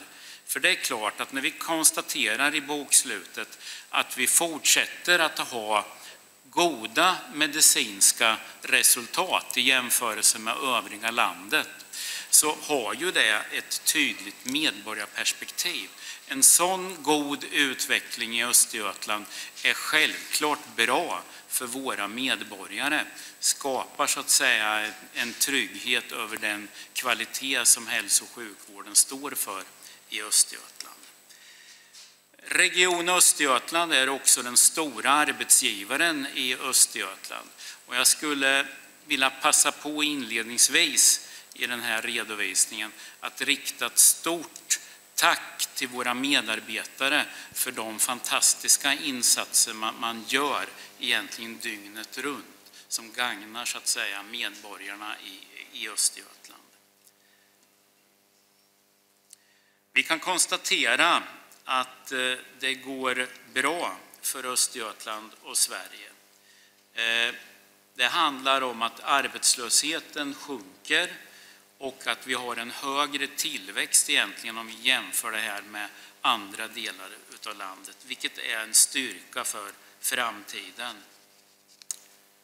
Eh, intressant att fånga upp är också att Östergötlands medborgare, som de människor som bor och verkar i Östergötland, tycker att vi är ett attraktivt län att verka i 80 procent av våra invånare i regionen har en positiv bild av vårt eget län, vilket naturligtvis är en styrka för framtiden att bygga vidare på. Och jag tror att det också handlar om det som är redovisat i, i så att säga, eh, vårt bokslut över det arbete som har gjorts kring varumärket Östergötland, de, de strategier som är framtagna långsiktigt. Det är positivt. Eh, en fråga jag skulle vilja lyfta som är redovisat och som har det har hänt väldigt mycket under 2016 men det är naturligtvis eh, de skillnader i hälsa, i folkhälsa vi kan se i vårt län. Vi har skrivningar i bokslutet som är formulerat ungefär så här att de socioekonomiska faktorerna Eh, är tämligen, och jämförelsen mellan olika grupper är konstant i, i Östergötland över tid. Och därför är det självklart centralt att det arbete som ändå fick fart under 2016 fortsätter. Eh, vi har jobbat oerhört mycket med frågorna i det folkhälsonätverket som finns. Det arbetet måste fortsätta under resten av mandatperioden. Eh, det kommer ett ärende slumpvis idag som vi kommer att behandla där vi som fullmäktige ställer oss bakom så att säga den uppgörelse som ändå är gjort mellan oss och våra kommuner. För det här är en fråga som vi måste hitta samarbetsformerna i mellan oss och våra kommuner för att kunna ta nästa steg i en sån utveckling. Eh, men det har gjorts och hänt väldigt mycket i ett framåtsyftande perspektiv under 2016.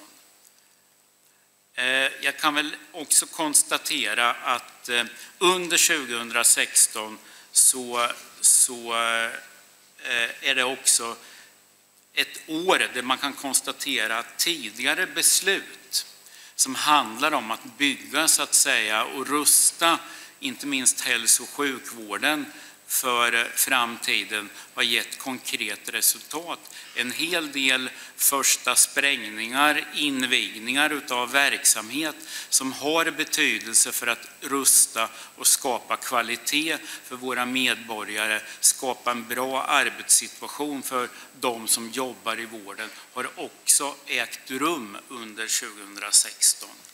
Jag eh, kan också konstatera att de goda medicinska resultaten eh, och den pallplacering som inte minst US fick i Dagens Medicinsk granskning av våra universitetssjukhus eh, innebar att också statsministern gjorde ett besök och nedslag i Östergötland för att lära sig mer om hur en bra universitetssjukvård fungerar, vilket var naturligtvis roligt att uppmärksamma under 2016. Eh, jag skulle vilja också nu lyfta en framtidsfråga som handlar om behovet av att rusta primärvården. Den kan man koppla ihop. Vi kommer att diskutera vårdplatser. Jag misstänker att en del kommer att komma in kanske redan i den här debatten, men vi har ju framförallt en interpellationsdebatt under dagen idag. Och det har under 2016 jobbats väldigt mycket med den långsiktiga frågan om nära vård och primärvården i Östergötland. 16 var så att säga också grunden när vi fattade beslut om en ny primärvårdsorganisation. Att samla den primärvården vi driver i en egen organisation. Det är, ett viktigt, det är en viktig del över att se till så vi har en kvalitet inom primärvården. Eh, men det behöver och satsar man på primärvården så är det också ett led över att avlasta det tryck vi, ser på akutmottagningarna i sjukvården. Och ni alla har följt så att säga, den nationella debatten och diskussionen om Stiernstedts utredning och tankar över att man behöver överföra resurser ifrån hälso och sjukvårdens sjukhus till primärvården. Och där är enkelt att uttrycka i skrift och det är enkelt att formulera ifrån talarstolen, men det har också en verkställighet. Och den frågan kommer vi att komma tillbaka naturligtvis till. Det är nödvändigt att jobba och göra så att säga de satsningar inom primärvården som vi måste till för att få ett sjukvårdssystem som ändå hänger ihop. Låt mig eh, Eh, kommentera ekonomin. Vi lägger fram ett bokslut som innebär att eh, vi eh, har ett överskott på 398 miljoner kronor. Det är ett stabilt och bra resultat naturligtvis. Det lägger en grund eftersom vi bygger på det egna kapitalet för fortsättningen. Vi vet så att säga att en del prognoser går i en annan riktning kommande år. Eh, det framgår av det framlagda bokslutet att vi också jobbar oerhört långsiktigt med de frågor som bland annat revisionen tog upp, nämligen de underskott som finns så att säga på de sjukvårdande enheterna. Vi från den styrande sidan menar att det är precis så man måste jobba med de långsiktiga frågorna. Det finns inga enkla lösningar.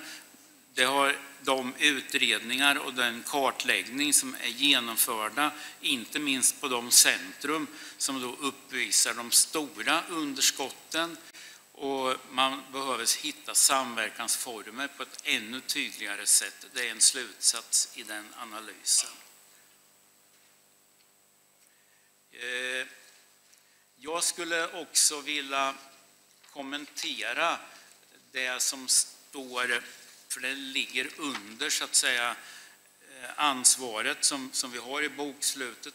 På sidan 158 och 159 så finns det en redovisning av innehållet i samverkansnämnden, det vill säga den nämnd som håller ihop eh, Eh, arbetet i sjukvårdsregionen.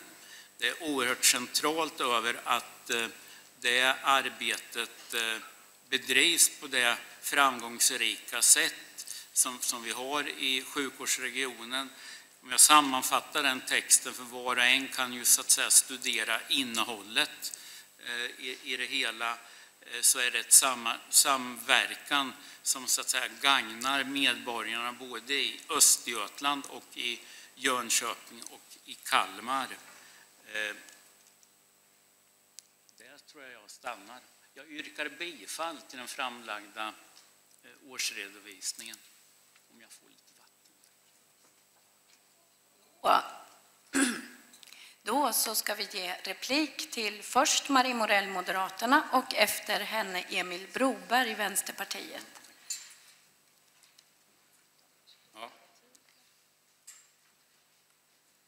Varsågod Marie. Ja, tack så mycket. Ja, fullmäktige, ledamöter och övriga åhörare. Vi får väl, jag vill också för det första yrka bifall till eh, årsredovisningen men också den protokollsanteckning som vi hade i styrelsen vill vi också lägga motsvarande här i, i fullmäktige.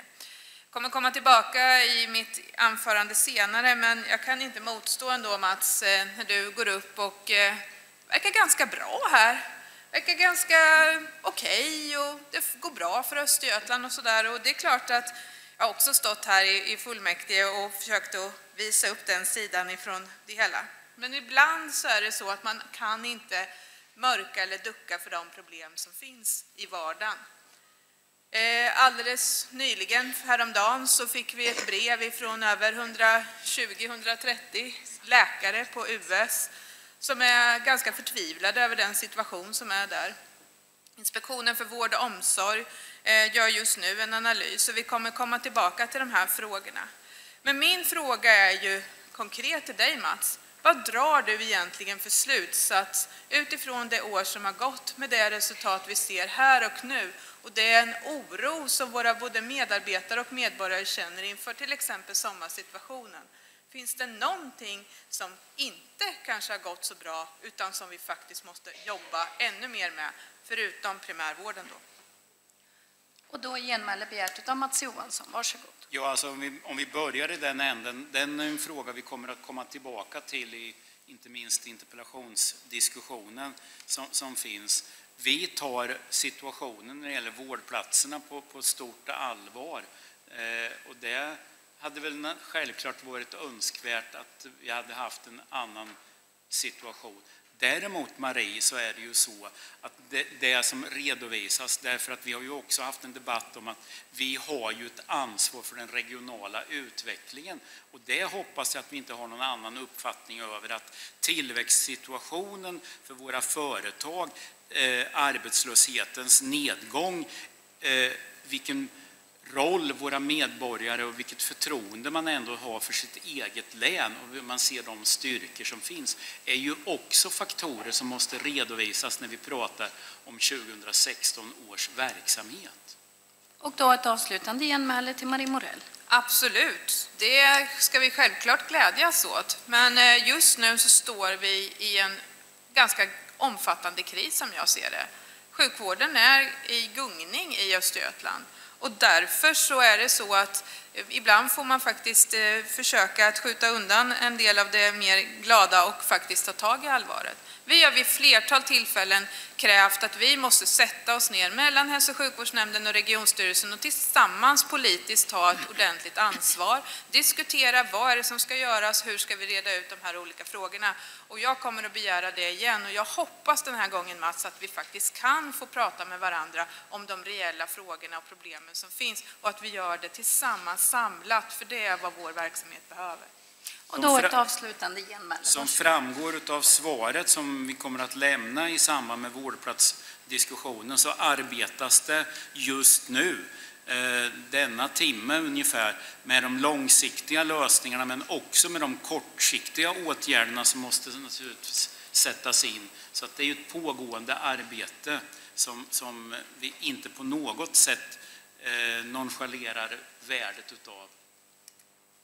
Och då var det slut på replikskiftet och vi kan väl bara för ordningens skull, Maria, att du förtydligar dina yrkanden sen när du har ordet. Ja, tack. Då går nästa replik till Emil Broberg, Vänsterpartiet. Varsågod Emil. Tack för det ordförande och fullmäktige. Eh, Mats Johansson sa att, att det är ett bra tillfälle att blicka tillbaka när det gäller årsredovisningen och, och det har jag också gjort och eh, tittade lite på hur debatten gick den förra mandatperioden kring de ekonomiska underskotten i regionen då. Och då skrev Mats Johansson till exempel på sin blogg eh, den 13 augusti med anledning av den borgerliga majoritetens dåvarande underskott i verksamheten att man tvingas konstatera att den borgerliga landstingsledningen har tappat greppen om, greppet om utvecklingen. Han skriver också eh, två veckor senare eh, den borgerliga landstingsledningen har misslyckats med, de, med att nå egna uppsatta mål. Kraftiga underskott i vårdverksamheten försämrar möjligheten att kunna ge vård och omsorg av hög kvalitet. Stressen för våra medarbetare ökar och patientsäkerheten hotas. Det var ett läge när man konstaterade att verksamheten hade ett underskott på ungefär 100 miljoner. I, det års, eh, i det, den årsberättelse som vi nu diskuterar så konstaterar vi att man har ett underskott på 208 miljoner. Min fråga till Mats Johansson utifrån det, delar du fortfarande då att underskott i verksamheten leder till eh, stre mer stress för medarbetare, att patientsäkerheten hotas eh, och att förs försämra möjligheten att ge vård av hög kvalitet? Och då ett genmäle av Mats Johansson. Varsågod. Problemet som vi har diskuterat eh, många gånger här i fullmäktige, det är ju att underskott i verksamheten är ju inte på något sätt gratis, utan alltså vi har ju en begränsad ekonomisk ram. Eh, det glädjande och det som är en viss skillnad är att om man tittar också, vi har ju haft en debatt i debatten kring det här, möjligheten för så att säga eh, regionen över att också göra genom HSN satsningar på hälso och sjukvården. Jag tror Emil att när du gör den här jämförelsen bakåt i tiden så ska du också titta på de siffrorna för att jag menar, det är klart att det är en styrka över att HSN har kunnat förstärka hälso och sjukvården med de belopp man, man har gjort i sina beställningar. Och då ett avslutande genmäle av Emil Broberg. Alltså, Tittar man tillbaka så gjordes det ju faktiskt ekonomiska tillskott även under den föregående mandatperioden. Men frågan kvarstår ju om, i sak som du faktiskt inte alls svarar på.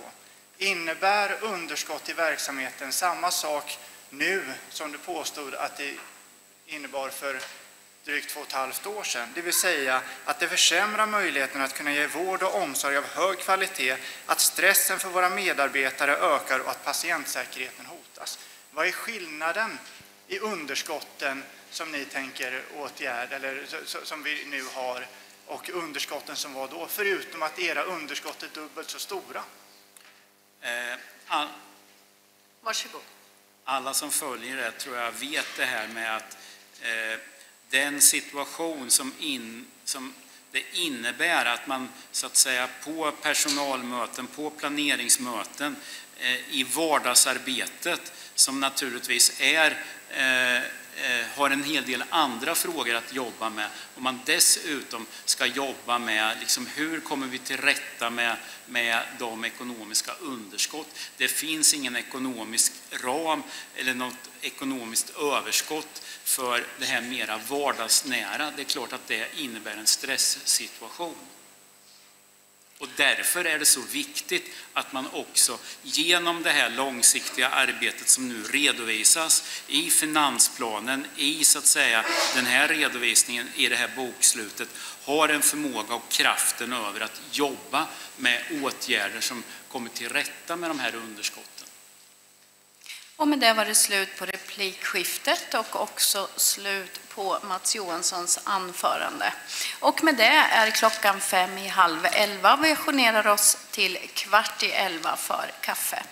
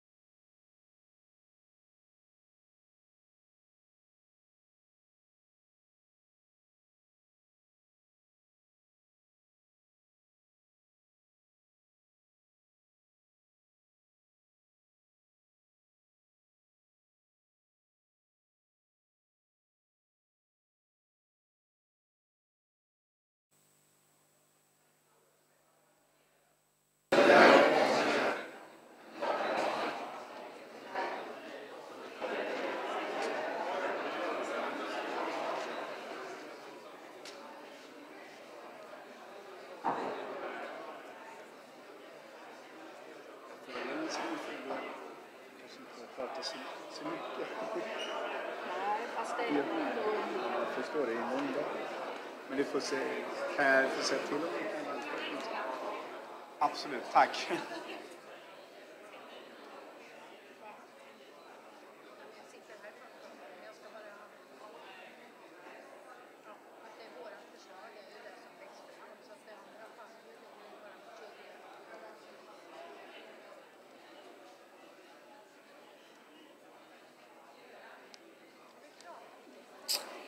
Härligt.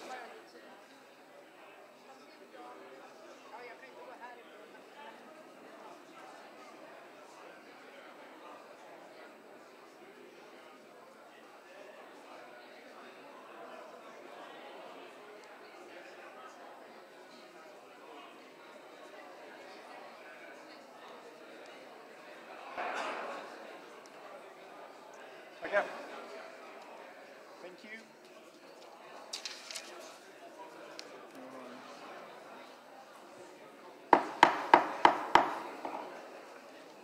Då ber jag att ledamöterna intar sina platser.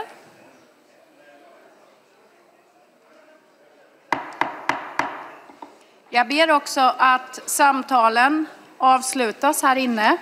För att nu ska vi fortsätta ordföranderundan och vi är framme vid hälso och sjukvårdsnämnden. Och jag ska lämna ordet till tredje vice ordförande eh, Torbjörn Holmqvist, Socialdemokraterna. Varsågod. Tack så mycket.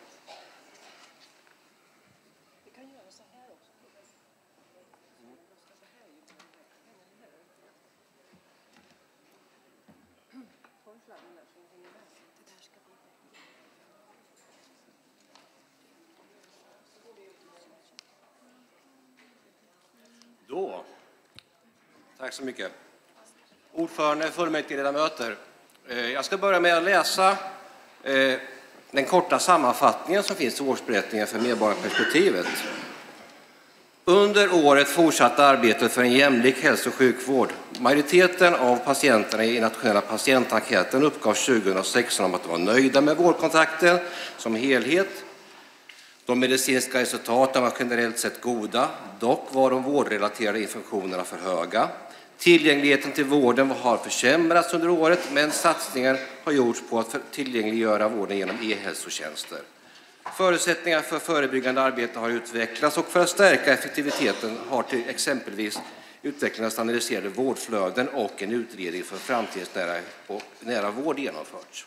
Jag tycker det här är en rätt så bra sammanfattning av vad som hände 2016.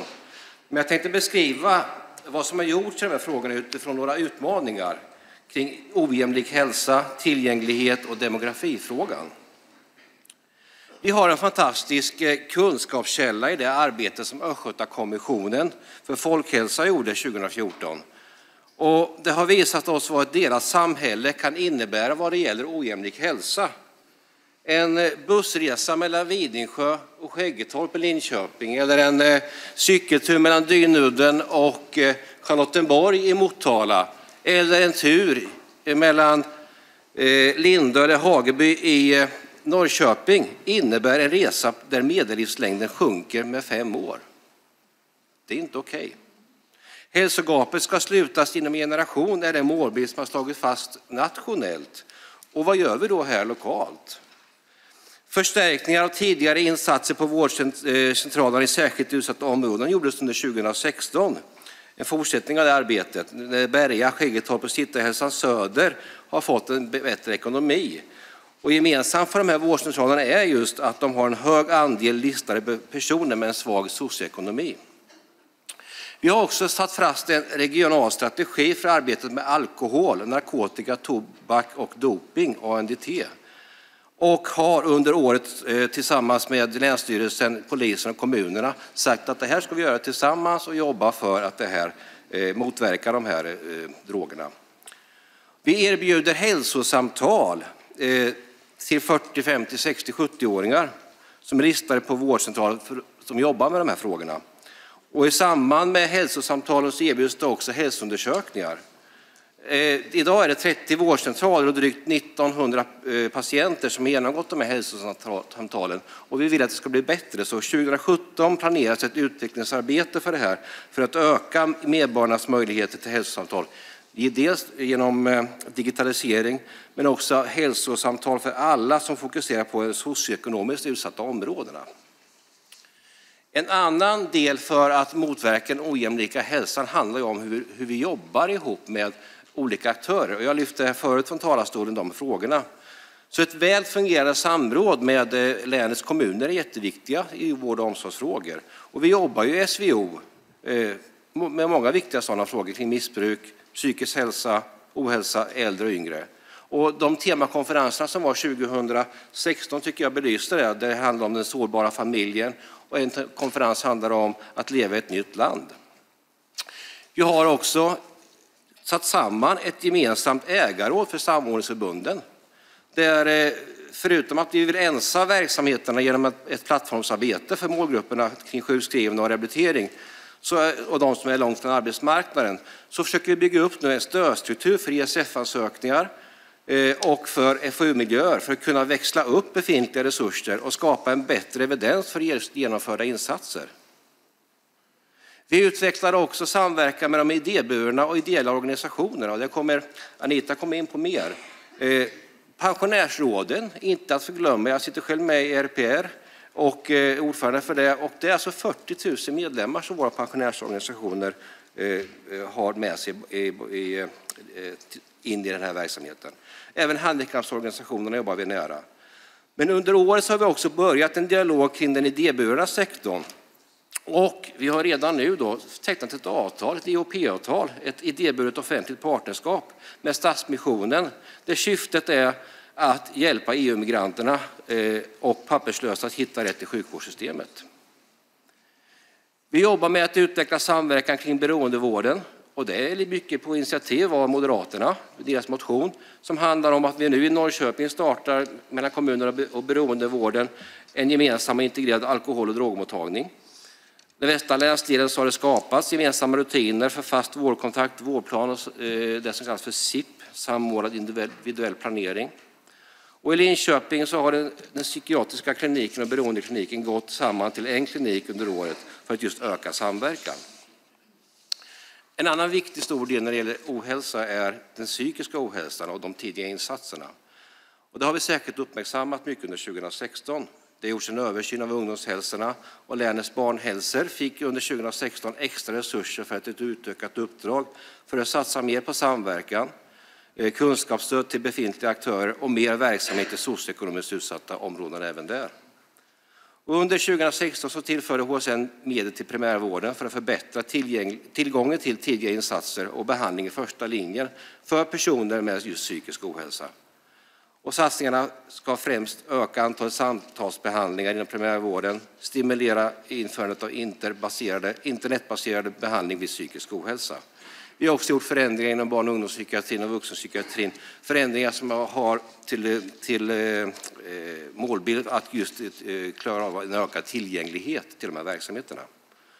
Och just tillgänglighet är väl en av framtidsutmaningarna. För att medborgarna ska känna tillit till att kunna få hälso och sjukvård när de behöver så är en god tillgänglighet till vård och behandling av stor betydelse. Och I många fall har god tillgänglighet till vården också ett direkt samband med behandlingsresultaten. Jag vill ändå börja med att säga att Östergötland hade under 2016 landets sammantaget bästa tillgänglighet till besök och behandling i primärvård och specialiserad vård. Men självklart, trenden i Östergötland är dock Eh, att det försämras, både inom primärvården och den specialiserade vården. Eh, men det händer också i hela landet. Och orsakerna till att det blir en sämre tillgänglighet är ju många och kan variera. En del är ju framförallt bemanningsproblematiken som vi slåss med med övriga landet. Men också att till, eh, antalet patienter ökar. Och då kommer jag in på den tredje utmaningen som handlar om demografiutvecklingen. Vi blir allt fler och framförallt så blir vi allt fler äldre i Sveriges befolkning. Vi gick nyligen över 10 miljoners gränsen och inom en sjuårsperiod räknar man med att vi ska nå 11 miljoner invånare i Sverige. Färre måste försörja allt fler och antalet äldre över 80 år kommer de närmaste 15 åren att öka med 60 procent. Den gruppen utgör 5 procent av befolkningen, men den tar över 20 procent av resurserna inom sjukvården. Jag tror vi ser en förflyttning, en nödvändig förflyttning inom hälso och sjukvården. En förflyttning som, för att klara av framtidens utmaningar och framför allt befolkningsutvecklingen. En förflyttning från slutenvård till öppenvård. En förflyttning från sjukhus till vårdcentral i eget boende. En förflyttning från vård till, vård till förebyggande och hälsofrämjande insatser. En förflyttning från organisationscentrerat till personcentrerat. Utvecklingen av den nära vården är nu en stor och het fråga i hela landet, som Mats var inne på här förut, och kommer ställa krav på nära samverkan mellan sjukhus och primärvård, men framför allt mellan sjukhus, primärvård och kommunens vård och omsorg. Då krävs det att det skapas förutsättningar för en hög grad av mobilitet, en digital mognad och samarbetsförmåga i alla våra verksamheter där gränserna mellan huvudmännen inte får utgöra försvårande omständigheter. Ett år hinner man göra väldigt mycket i verksamheten. På tio minuter i talarstolen kan man berätta väldigt lite tyvärr. Men eh, jag vill ge bifall till regionstyrelsens förslag.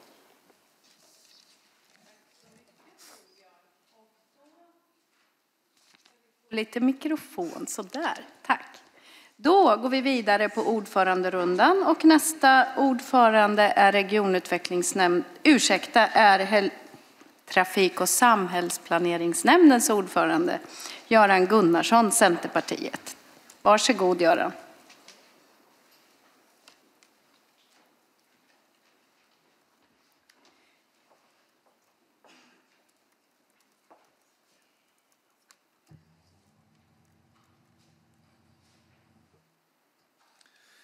Ordförande fullmäktige. Eh, några ord omkring TSN, Trafik och samhällsplaneringsnämndens årsredovisning. Eh, jag ska börja i änden med vårt arbete runt omkring samråd, information, diskussion, eh, demokratiarbete. För jag tycker det är värt att, att resonera runt omkring det. Eh, vi har ju fortsatt under föregående år och fullföljt våra medborgardialoger Eh, ett gäng ur eh, nämnden, dock icke jag, har farit runt på ett antal företag. Vi valde ut företag där man då samtalade med anställda och företagsledningar om möjligheter att ordna kollektivtrafik åt de som jobbade där. Jag tror det var, så jag uppfattat att det var en väldigt bra dialog som, som eh, många tyckte är, är viktig. Det tycker jag också. Och jag tror det är någonting vi ska fortsätta med. Eh, en annan del som jag tycker glöms bort i det här sammanhanget så är det att vi faktiskt har en hel del annat som närmar sig medborgardialogen i vår nämnd. Vi har exempelvis skärgårdsarbete. Vi har ju då eh, samordningsansvaret för ett, ett skärgårdsråd som ju då är en, en samling som eh, samlar kommunrepresentanter för skärgårdskommunerna också ett 30-tal, tror jag det är, föreningar runt om i skärgården som samlas regelbundet under året för att diskutera gemensamma frågor och där vi då har ordförandeskapet i det här skärgårdsrådet. Det är en viktig demokratifråga i skärgården och ett sätt att nå ut och få synpunkter på frågor som är viktiga och angelägna för skärgården. Det är vi också så att vi vi eh, har också ett helt öppet möte som kallas för skärgårdsting där vi bjuder in alla som finns i skärgården. Eh, alltså alla boende eller överhuvudtaget alla intresserade av skärgårdsfrågor och som är väldigt välbesökt. Det är, tror jag, aldrig under hundra personer på en sån tillställning och där folk får komma med synpunkter. Det är ytterligare ett sådant demokratiarbete som finns i vårt hägn och som vi organiserar. Eh, vi eh, jobbar ju också på ett annat sätt för att komma närmare frågorna i nämnden. Eh, det är också värt att nämna, som en del av er möjligen har, har eh, sett, Vi jobbar ju rätt, har jobbat rätt mycket med referensgrupper i nämnden. Alltså varje parti får utse var sin representant och så närmar vi oss större frågor. Exempelvis trafikförsörjningsprogrammet. När kansliet jobbade med det så hade vi en sån här referensgrupp som under arbetets gång fick samtala om och, och, och leda på ett vis utvecklingen då utav trafikförsörjningsprogrammet. På samma sätt har vi gjort med länstransportplanen, att vi har haft en sådan grupp. Nu har vi ju då vidgat det här ytterligare genom att göra en gränsöverskridande referensgrupp, en referensgrupp som handlar om när vi skriver bredbandsstrategin. Där ju då vi har sagt att varje nämnd i, i regionen ska ha representation och alla partier. Och jag tror det här är viktiga frågor som vi från vår sida har, har drivit fram. Nämnden har ju också bestämt sig för att vi ska ta, vara en aktiv part i relevanta internationella organisationer. Eh, jag tror det är viktigt att ha ett utbyte på flera plan. Vi har Nordiska ministerrådets skärgårdssamarbete, men vi har också framförallt AER, Assembly of European Regions, där vi under året eh, som gick eh, aktivt deltog i deras arbete. Och då är det framförallt kommitté 1 som är viktig och relevant för oss. Eh, vi har ju självklart också under året varit representerade i en bättre sits, samarbetet runt Mälardalen, Mälab, E22, Bergslagsdiagonalen. Det är relevanta organisationer för vår nämnd att jobba emot. Eh, vi har ju också givetvis samarbetat med våra kommuner i regionen. Vi har ju regelbundna eh, samråd med kommunerna eh, där vi har tagit upp viktiga frågor. Det har varit allt ifrån våra berömda eller, eller välbekanta ska jag väl säga, bussnedläggningar, trafikförsörjningsprogram, strukturbild Östergötland. Det är sådana frågor som vi då har tagit upp där. Tittar man på året som gick så är det ju så att vi lyckades inte med målet om att ta marknadsandelar för kollektivtrafiken gentemot bilen. Det ska jag erkänna. Eh, bilanvändandet fortsätter att öka. Eh, det här är nog, någon nämnde var vår revisionsordförande som pratade om 10 000 kronors fråga. Jag tror det här är den verkliga 10 000 kronors frågan. Hur ska vi lyckas i det eh, ärendet? Eh, vi har ju jobbat väldigt mycket egentligen tycker jag i Östergötland med morötter mot, mot folk för att öka kollektivtrafikanvändandet. Någonstans finns det, förmodar jag, en gräns där vi också måste jobba med eh, åtgärder som mer eller mindre riktar sig mot bilen.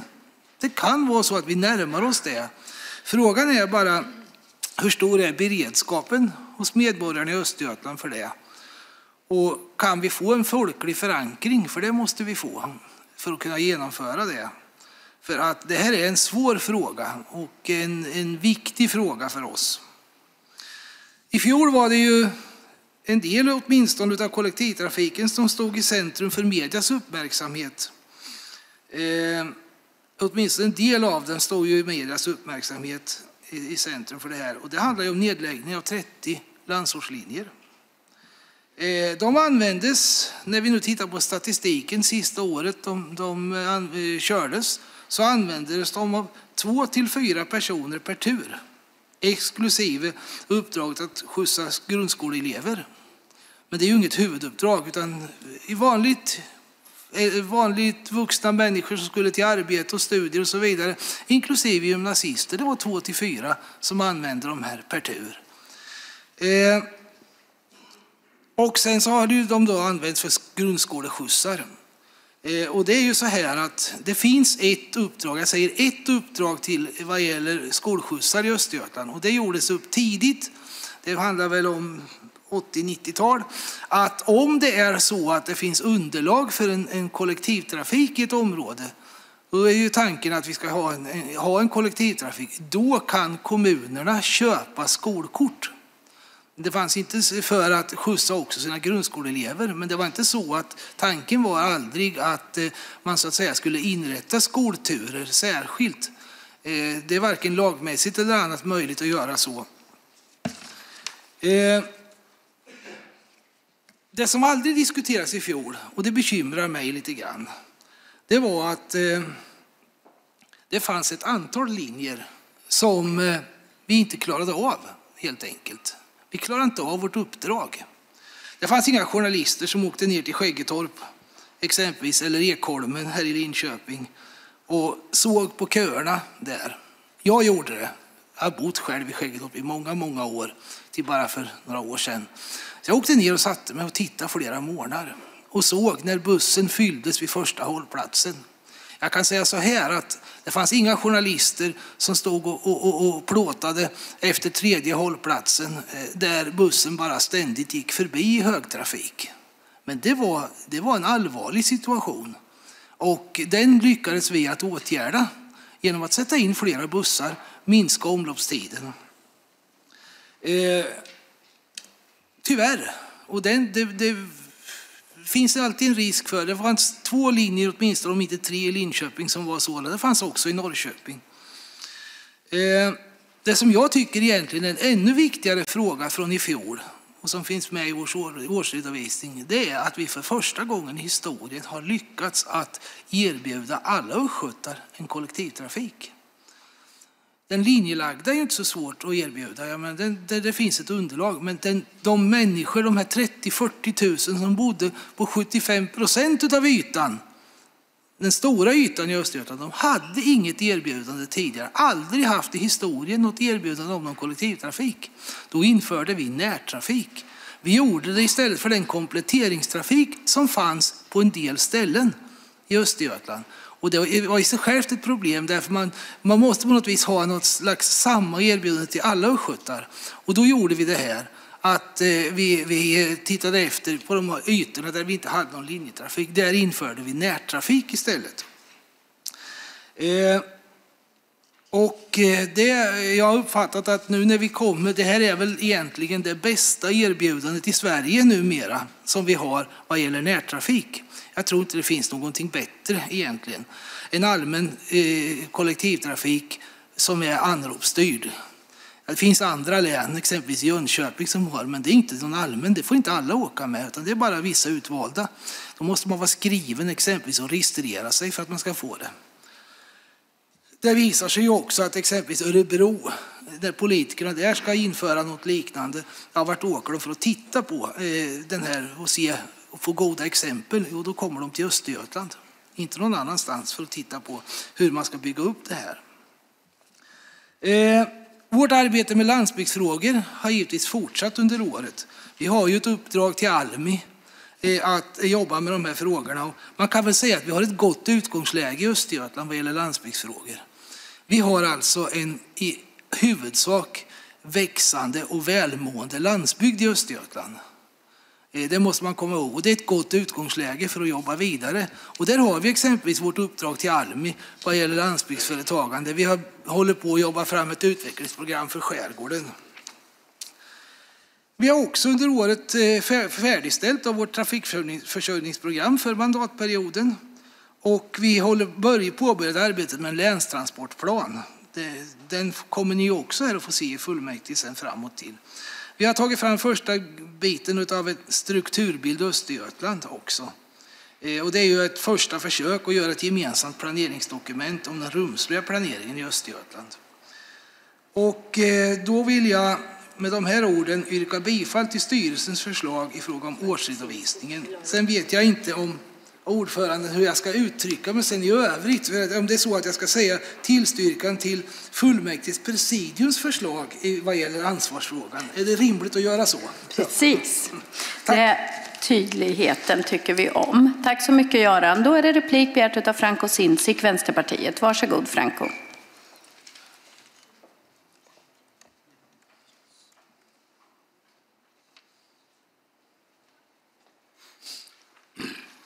Fullmäktige kamrater.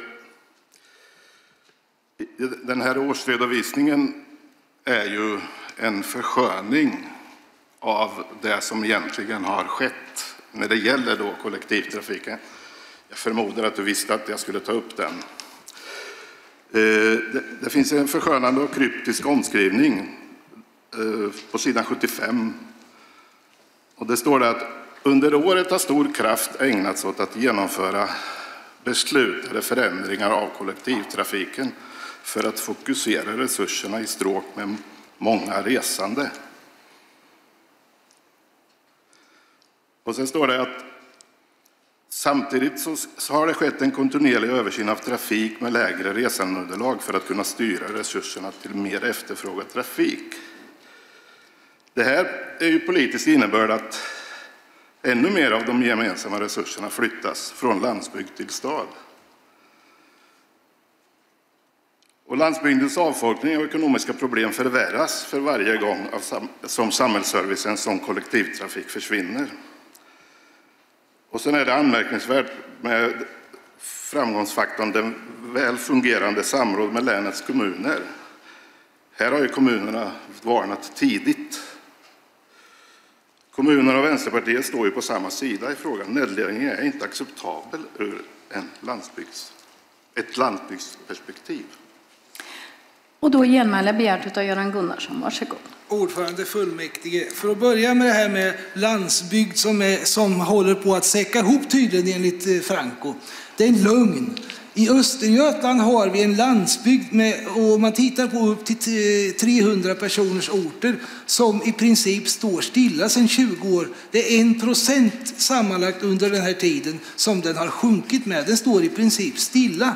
Vi har en landsbygd där man har högre inkomster än i stan. Vi har en landsbygd där man har en högre utbildningsnivå än i stan och man har en högre förvärvsfrekvens. Jag vill påstå att det här är en myt som ni håller på och sprider.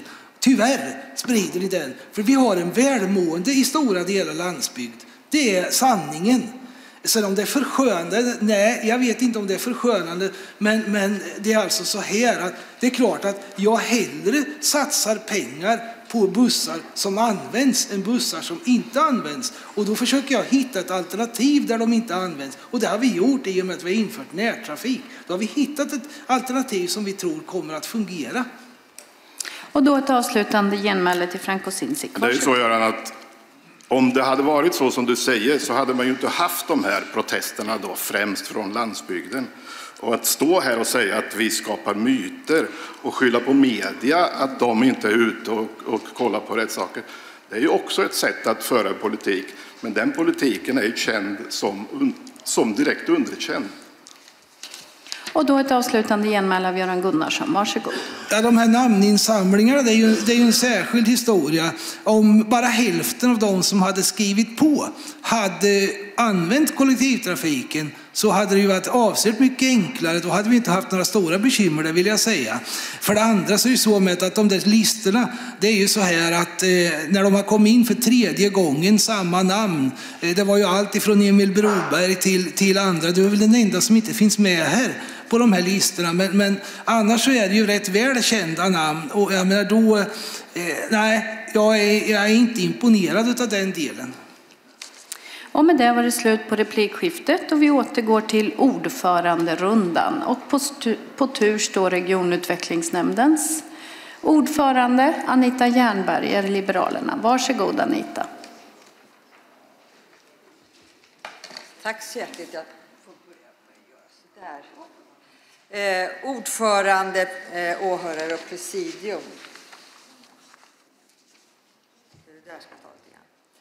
Eh, jag vill falla Mats Johansson i talet och det känns bra att det går bra för Östergötland, för företagen och att det finns en, ett hopp om framtiden. Det finns en positiv energi i Östergötland och den känns väldigt, väldigt gott att vi har. Jag vill börja med att tacka ledamöterna i regionutvecklingsnämnden. Det har varit ett stort arbete som har gjorts och de kunskapsgrupperna som finns som gör ett fantastiskt bra arbete på besöksnäringen, näringslivet inom kompetensutvecklingen och kulturområdet. Stort tack för det, för det har visat att de går ju ut, kunskapsgrupperna, och möter människor och verksamheter. Göran Gunnarsson var mycket inne och talade om demokrati. Och det här är också en del i den demokratiska processen, att nämndens ledamöter är ute och träffar folk för att diskutera men också att ta in eh, kunskaper till eh, till nämnden. Och vill också passa på att tacka alla eminenta eh, tjänstemän som gör ett jättebra arbete som vi har en bra dialog med. För utan den här dialogen och samarbetet mellan nämnden och tjänstemännen så vart det inte mycket utfört. Så stort tack för det säger jag ifrån nämnden. Men allting går inte som smort. Regionutvecklingsnämnden har inte många stora egna arenor som till exempel hälso och sjukvården har. Vi är beroende av en samverkan med kommunerna. Innan den här mandatperioden så kom vi överens om att vi la upp en organisation för att hitta mötesplatser med kommunerna och säkerställa att man har en arena där man kan träffas för att prata övergripande frågor. Nu hade den organisationen som var tänkt svårt att hitta sina former. Och då har vi beslutat att göra om det här och det var framförallt sakområdessamrådet som handlar om näringsliv, attraktivitet och kompetensförsörjning. Och det kan man ju egentligen kanske tänka sig så här lite grann i efterskott att det är inte lätt att vara politiker i en liten kommun och ha någon som ska greppa alla de stora frågorna. Nu har vi beslutat att dela på det.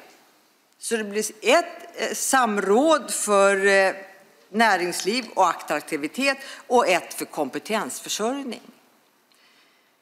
Och det ska, känns bra. Vi håller på att sätta det här i sjön och det är inte bara att vi har olika innehåll utan organiserar det också lite olika för att få en större eh, det ska vara intressantare att komma, hitta frågor från den kommunala arenan, den regionala arenan. Vad är det vi ska prata om tillsammans?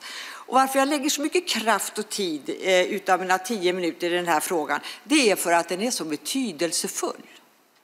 Inom många områden så är vi inte oss själva nog, utan vi måste ha ett gott samarbete med våra 13 kommuner och de också förhoppningsvis tillsammans med oss. Men vi har också samverkan utanför kommunerna. Och jag vill lyfta upp Östsvenska yrkeshögskolan. Och då kan man tänka sig, varför väljer hon det? Jo, det handlar om kompetensförsörjningen för våra företag. Vi är stort beroende, vi har talat om gapet mellan den kompetensen som finns och den kompetensen som man vill ha som företagare för att som företagare kunna utvecklas. Och det är ju grundpelaren i hela regionen. Vi behöver ha bra företag och har det. Vi har för närvarande ungefär 15 stycken olika eh, YH-utbildningar. Det är data och ekonomi och det är lokförare och det är urmakare med flera. Men hör och häpnad, det man kan bli förtvivlad över det var att vi inte fick någon beviljad när det gäller på vårdutbildningarna till undersköterskorna för att höja deras kompetens. Och det här är en förtvivlan som vi många regionalt ansvariga har. Det att det går in många eh, ansökningar om att få skapa de här utbildningarna för att eh, tillgodogöra sig det behovet som finns i regionen. Men vi får inte pengarna, vi får inte platserna. Eh, och det här skapar ju då en frustration, en frustration som jag och alltså också Per Larsson tar med sig upp när vi träffar eh, departementet på politikerforum. Vi är tydliga från Östergötland och tillsammans med våra kollegor ute i landet när det, som har det regionala utvecklingsansvaret att här behövs det fler resurser. Vi behöver resurser till Eh, yrkesutbildningarna. För det visar sig att de som går de här utbildningarna, de får ju arbete. De kommer ju i arbete och så hur i hela friden kan man då göra så att man inte lägger till de resurserna vi behöver? Nu har jag fått säga det. Det känns riktigt från hjärtat och där behövs vi. Jag vill också gå över till Östgötaleden och jag tror ingen av er har, har missat de resurserna och det fokus som vi har lagt på Östgötaleden. till mångas belåtenheter. Och det är spännande att se den här utvecklingen på Östgötaleden. Det kommer förslag till tysta miljöer som vi knyter an till Östgötaleden. Företagen runt omkring Östgötaleden börjar alltmer att före, vakna. Medevibrunn, vi var där när vi startade Östgötaleden i Motala kommun. Jätte, jättespännande för att se hur den här leden på olika sätt engagerar såväl företagare som medborgare som går ut och rör på sig. Härligt helt enkelt. Jag hoppas att ni alla har varit inne på eh, webben och hittat kartan som ligger där. Det ska komma en uppdaterad karta. Så att en gång när vi träffas här efter sommaren så har alla gått en rundslinga på Östgötaleden och kan dela med sig av de fantastiska eh, naturupplevelser vi har. Vi har eh, Östgötabiblioteket. Och det är ett samarbete mellan regionbiblioteket och de 13 kommunerna och Tranås. Och de har arbetat mycket för yttrandefrihet, demokrati och integration. Och jag vill passa på att läsa några rader ur ledaren. Jag, förresten, ni som är intresserade kan läsa den här från perm till perm så kan ni allt om biblioteken i Östergötland som är, tycker jag, en organisation som lever lite grann i det tysta men som gör ett otroligt stort arbete. Jag läser följande. Läs artikeln om Modiga Mjölby, bibliotekets tryckfrihetsvecka i artikeln När det fria ordet stör. När det fria ordet stör. Spännande. Om samhällskommunikatörernas viktiga roll för att nyanlända ska förstå det svenska samhället och bidra till dess utveckling om hundra år av biblioteksutveckling i Söderköping som ger en bra bild av ett modernt folkbibliotek idag, inklusive hängmattan. Att läsa litteratur är ett sätt att förstå andra, att öppna nya eh, dörrar i sig själv. Vi ska slåss och vi ska vaka över att biblioteken når ut till allt och alla en honör för de som arbetar med biblioteksfrågorna. Jag var inne på företagen och det går ju bra för dem väldigt många gånger. Men när vi då tittar på skolan och går tillbaka vilka det är som går ut eh, gymnasieskolan så ser vi, och det har jag nämnt tidigare till vår sorg, att inte alla ungdomarna går ut, tar sin gymnasieutbildning. Och det är så oerhört viktigt att de får sin gymnasieutbildning så att de kan komma in på arbetsmarknaden. Att dels bidra till eh, att man fyller de kunskapsbehov man gör, men också för sin egen del att kunna forma sina liv. Och därför så är vi ju med i det här stora, stora projektet som heter hashtag jag med, vars mål är att öka andelen unga att gå ut eh, gymnasieskolan. Och jag tror att ni har läst om det, att det finns skolvärdar, till exempel inpuffare, coacher, till exempel på Hagagymnasiet. Under våren på 2016 då antogs besöksnäringsstrategin, ett brett förankrad besöksnäringsstrategi som inte bara blev en, en hyllvärmare. Och det är fantastiskt att få följa det arbetet. Utan här kör man igång med implementeringen tillsammans med kommunerna och aktörerna inom besöksnäringen. Jättespännande att få följa det arbetet. Jag vill också slå ett slag för samarbetet mellan Linköpings stift Eh, pilgr eh, Pilgrimsmuseet, Vadstena och Länsstyrelsen för, och oss i regionen Östergötland för, förstås, för att arbeta för att utveckla pilgrimsvandring med slut i Vadstena. Och vad är det här bra för? Då? Jo, det är en bland de delarna i besöksnäringen som växer allra mest oerhört viktigt att vi är med på tåget och att vi visar på här kan vi arbeta tillsammans med Östgötaleden pilgrimsvandring. Det är 300 miljoner pilgrimer varje år. Tänk att få många av dem att trampa upp stigarna här i Östergötland. Då behöver vi inte ha någon som går där med sekatören för att se till att det står öppet. Hörrni. Kulturarvet eh, är också ett prioriterad fråga. Och nu, alltså det här är ju jättespännande. Ni som har varit inne på tekniken och ser hur den utvecklas. Ni som var på innovationsriksdagen och, eh, igår och hörde talas om det. När vi går någonstans i våra fantastiska kulturmiljöer så kommer vi inte bara att kunna ha paddan för att se vad det är som händer, att det kommer, kommer en viking som berättar för oss om varför rymdskriften finns där eller hur man lagade mat på den tiden. Vi kommer att hitta helt nya eh, sätt att lyfta upp kulturarvet och vår historia och som jag också kom, tror kommer att attrahera ungdomarna och väldigt många. Och på det viset, när man förstår vår historia, förstår man också vår framtid, var man är på väg. Ja, hörni, det görs väldigt, väldigt mycket bra i Östergötland och jag skulle kunna säga väldigt mycket mer. Men jag får lov att stanna här och yrka bifall till liggande förslag. Tack. Tack så mycket. Och då går vi till den sista nämnden som vi ska få i vår ordföranderunda och det är till patientnämnden. Och Inga Arnell, Centerpartiet. Varsågod Inga. Tack fru ordförande, ledamöter och övriga deltagare. Ja, jag kommer nog från den minsta nämnden.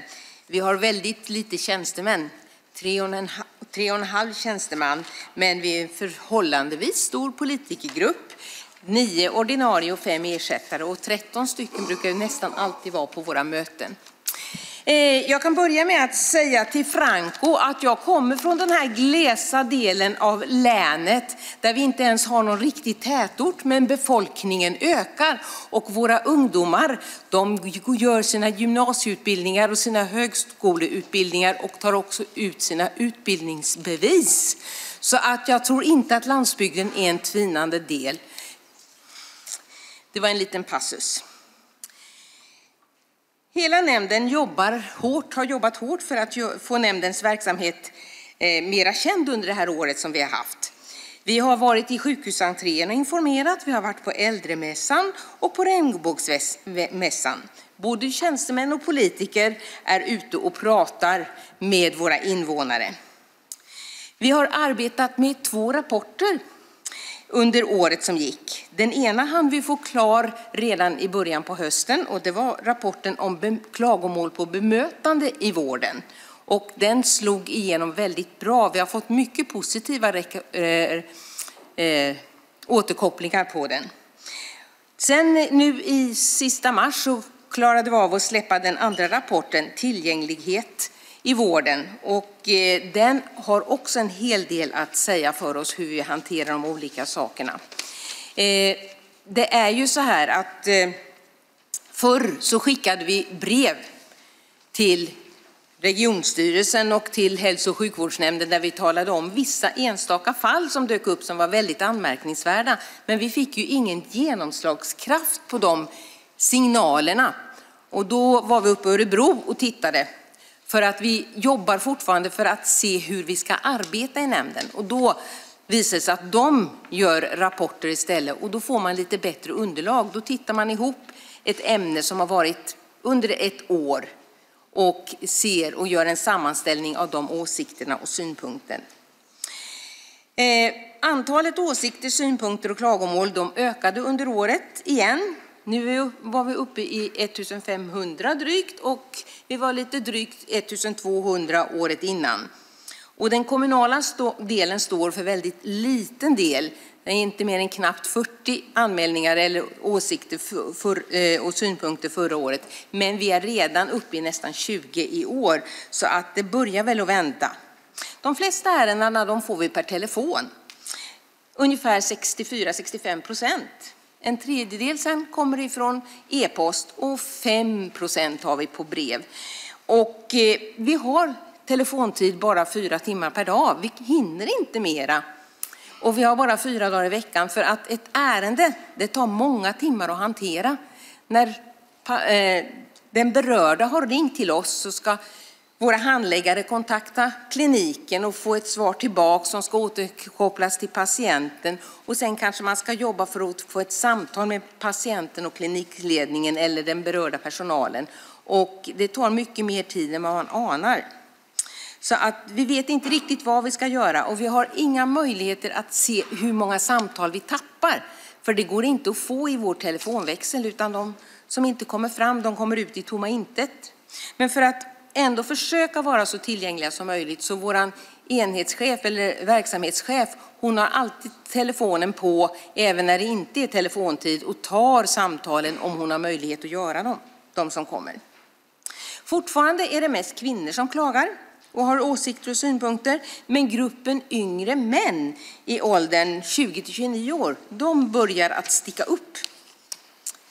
Vi har en annan del i vår verksamhet också, det är stödpersonsverksamheten som är för de tvångsvårdade.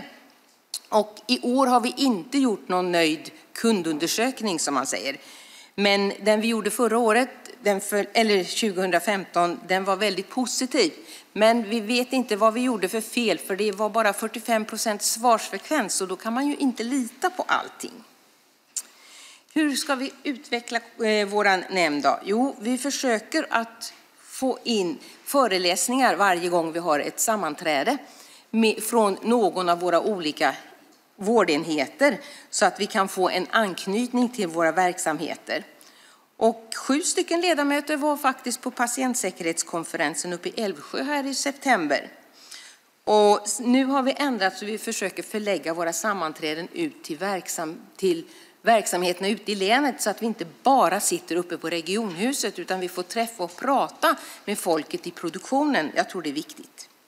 Men vi har en oro för framtiden och det är ju den här lagrådsremissen som lades i slutet på förra året och proppen som skrevs sen och nu är uppe till behandling. För där så lägger man ökade krav på patientnämnden att man ska följa med patienterna, att kunna träffa en patient, en läkare eller en, vård, en vårdpersonal, inte som advokat men som ett stöd. Och att vi även ska hjälpa dem att skriva inlagor och sånt här. Och med det här eh, planeringen som man gör i lagrådsremissen i proppen så eh, ser man i Östergötland så kommer det innebära att vi får ungefär medel för en halv tjänst till och det lär det inte kunna täcka om allt går igenom. Så jag hoppas att vi får en fortsatt dialog med fullmäktige och styrelsen så att vi kan se hur vi ska kunna hantera det så att vi inte tappar våra patienter som har åsikter och synpunkter. För det är ju dem vi tillför och det är därför som det är så jätteviktigt att vi har en bra återkoppling. Tackar för det här och vill eh, yrka bifall till årsrapporten. Tack så mycket. Och då har vi gått igenom alla våra nämnder och ordföranderundan. Och då vill jag bara förtydliga, när man är inne i den här ansvarsprövningsprocessen så när vi kommer fram till beslut om ansvarsfrihet kopplat till våra nämnder och ledamöter så är det ju alltså fullmäktiges presidie som lägger fram förslaget till er ledamöter. Och eh, som jag har förtydligat redan nu så är vårt förslag att samtliga ledamöter i hälso och sjukvårdsnämnden beviljas ansvarsfrihet. När det är så att revisionen eh, det brukar ju, Anders var inne lite på det, det brukar ju föregå som en ganska lång dialog om det är någon som inte ska få ansvarsfrihet eller om man ska rikta en anmärkning. För det är de två delarna man kan ha som åtgärd. Man kan, rikta, man kan ge kritik i sin revisionsberättelse, men de två tydliga delar man kan göra vad det gäller ansvarsprövningen är anmärkning eller avstyrkt ansvarsfrihet. När det är en ledamot eller en nämnd som eh, får anmärkning eller eh, föreslås ansvarsfrihet så har man alltid rätt att yttra sig. Att förklara varför har vi agerat så här som nämnd eller varför har jag som enskild ledamot hanterat det så här. Eh, vi har inte bedömt i det här fallet att vi har behövt ta in något yttrande för vi har tyckt att det har varit viktigt att försöka behandla alla som har varit i den här situationen konsekvent på samma sätt. Och det har också varit väldigt kort om tid i eh, hela den här ansvarsprövningsprocessen här i slutet. Och jag vill bara förtydliga det, för vi ska ju passa på att se hur ser det ut och hur går de här processerna till. Och det är ju också så att eh, de dialoger som är med nämnderna ifrån revisionen är ju också en del i hela ansvarsprövningsprocessen. Ser man att man får väldigt eh, skarp kritik som kan leda till en anmärkning till exempel, då ska nämnden eh, ha möjlighet att jobba med det så fort man ser det så att man inte ska hamna i en sån situation för att undvika att behöva rikta en anmärkning eller att avstyrka ansvarsfrihet. Så jag vill bara förtydliga för fullmäktige att eh, förslaget till beslut är ju det som revisorerna eh, lägger fram för fullmäktige, men där vi har ehm, för tydlighetens namn ifrån presidiet då eh, förslaget till fullmäktige att samtliga ledamöter kommer att beviljas ansvarsfrihet. Och med det så ska jag lämna ordet till nästa person på talarlistan och det är Marie Morell, Moderaterna. Varsågod Marie. Ja, tack så mycket. Ja, vi har ju redan eh, som sagt har kommit en bit in i diskussionen och debatten om årsredovisningen och eh, det är ju eh, som sagt en tillbakablickande eh, dag som man ska göra när man har en årsredovisning. Men samtidigt så går det ju liksom inte att undvika att också samtidigt då blicka framåt och Mats var ju inne på det tidigare också. Eh, jag tänker så här att eh, det vi egentligen försöker säga idag, alla tillsammans på olika sätt och vis, det är att Östergötland är fantastiskt och att vi alla liksom värnar våra medborgare och vårt län och vill det allra bästa. Och det görs väldigt många goda insatser och det händer väldigt många bra saker i vårt län hela tiden. Både sånt som vi från regionen är involverade i och sen finns det sånt som vi inte är involverade i också, kors i taket, någonstans där ute. Eh, som människor gör helt själva utan att vi vare sig politiskt eller på annat sätt har sagt åt dem att de ska göra på det sättet. Startar ett företag eller går i skolan eller någonting sånt där som inte regionen har varit med och påverkat. Och det är ju någonting som vi ska uppmuntra och värna. Men sen finns det ju en mängd saker och vi har ju faktiskt en väldigt, väldigt stor verksamhet och det ska ju vi också ta ett stort ansvar för här inne. Vi har många medarbetare som har nämnts här som ju gör ett extremt äh, förtjänstfullt arbete både ute i våra eh, sjukhus och sjukvårdsverksamheter men också övrig verksamhet som vi har som regionen ansvarar för. Och vi ska som som sagt var eh, rikta ett stort tack för de insatser som görs. Men som sagt, sen är det ju det här att vi gillar Östergötland lite extra mycket och det är klart att man är ju aldrig riktigt jättenöjd utan man vill att det ska glänsa och skina lite extra. Och det är klart att eh, en silvermedalj vill man alltid att den ska bli en guldmedalj igen, till exempel när det gäller ett universitetssjukhus ranking och så vidare. Och lite grann det här med att vara stolt och se att det är fantastiskt, eh, det ser vi ju en, en viss Ehm, antydan till naturligtvis i årsredovisningen. Men jag undrar ju också hur det är så att vi, vi ändå kan se att vi har ganska många områden när vi tittar på sammanfattningen i årsredovisningen som inte riktigt når upp till den där gröna färgen som då gör oss lite extra stolta. Eh, räknar man lite sådär statistiskt så kan vi se att de, av de 22 strategiska målen så är det endast 7 som är gröna och eh, 15 är gula. Sen har vi då några röda områden. Det vill säga sådana där vi inte riktigt har nått upp till målet. Och det här gör ju det att det känns inte riktigt bra.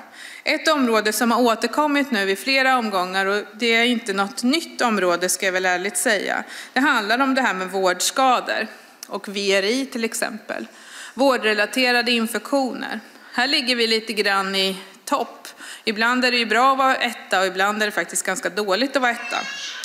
Eh, och den kopplad till en annan röd punkt som vi har diskuterat redan, nämligen dimensionering av vårdplatser, hänger på ett oroväckande sätt ihop med varandra.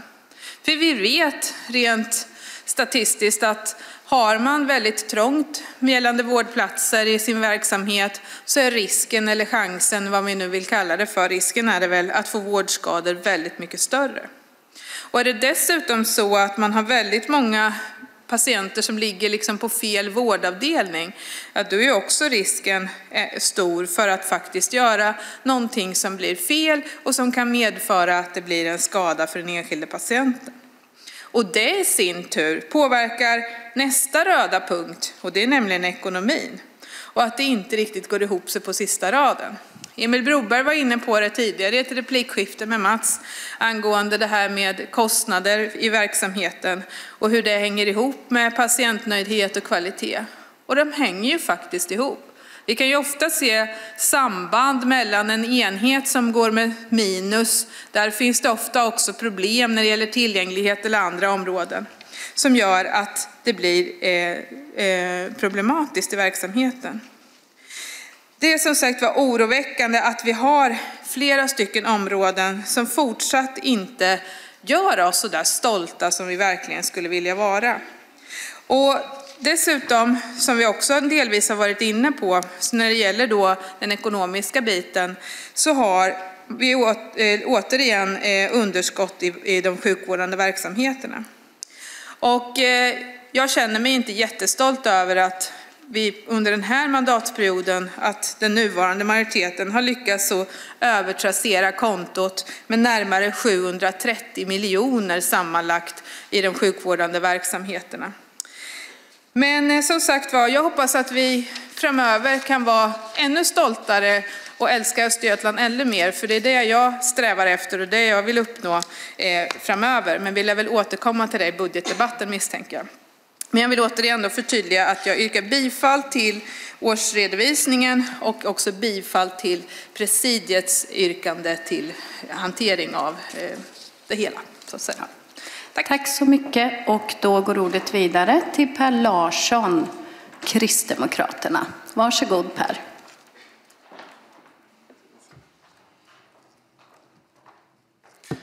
Tack så mycket för det, ordförande, ledamöter. Ja, jag vill också inledningsvis instämma i tacket till alla regionens medarbetare, både våra tjänstemän i ledningsstaben och alla de tusentals medarbetare som är de som gör att vi faktiskt har en riktigt bra hälso och sjukvård i Östergötland. Jag vill också passa på att tacka mina vänner i presidiet, Anita Jernberger och Eva Andersson, som gör eh, att det blir trevligt att jobba tillsammans i regionutvecklingsnämndens presidium.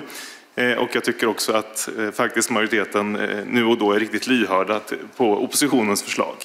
Så att det blir ännu bättre. Men nu till årsredovisningen.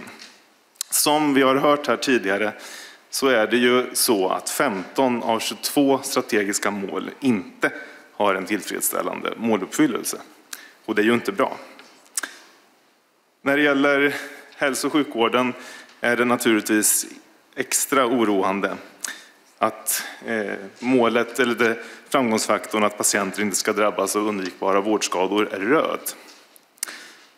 Likadant med optimal dimensionering av vårdplatser.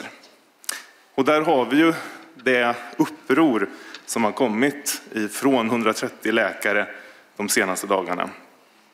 Där en kontinuerlig neddragning av antalet vårdplatser sker och när vi närmar oss sommaren så väntas, väntas till exempel kirurgen ha mindre än en tredjedel av sina vårdplatser igång. Och där krävs naturligtvis krafttag.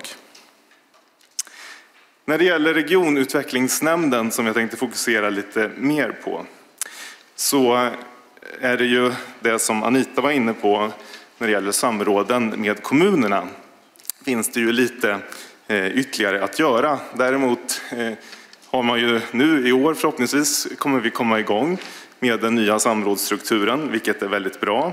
Eh, och vi kan väl från oppositionen ändå glädja oss åt att majoriteten slutligen har lyssnat på våra påpekanden att det här strategiska målet med god samverkan med kommunerna inte kan anses vara grönt, utan nu har man faktiskt eh, markerat det som gult, vilket ju ändå är, är bra att man erkänner hur det står till.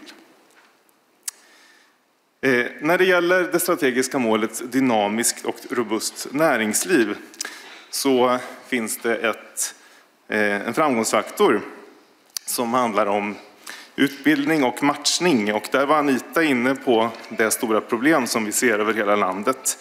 Att vi har alldeles för få utbildningsplatser när det gäller yrkeshögskolan. Och det är ju ett problem i många regioner, men särskilt för oss. Vi, har, eh, Eh, vi kan se, som Anita var inne på, att det här är ju verkligen en utbildning eh, som ger jobb. Och då säger någon att ja, men det här är ju personer som ofta har ett jobb idag som får ett annat jobb. Ja, men precis, de har fel jobb idag och så får de rätt jobb. Och sen är det andra som idag är arbetslösa som kan få de här jobben.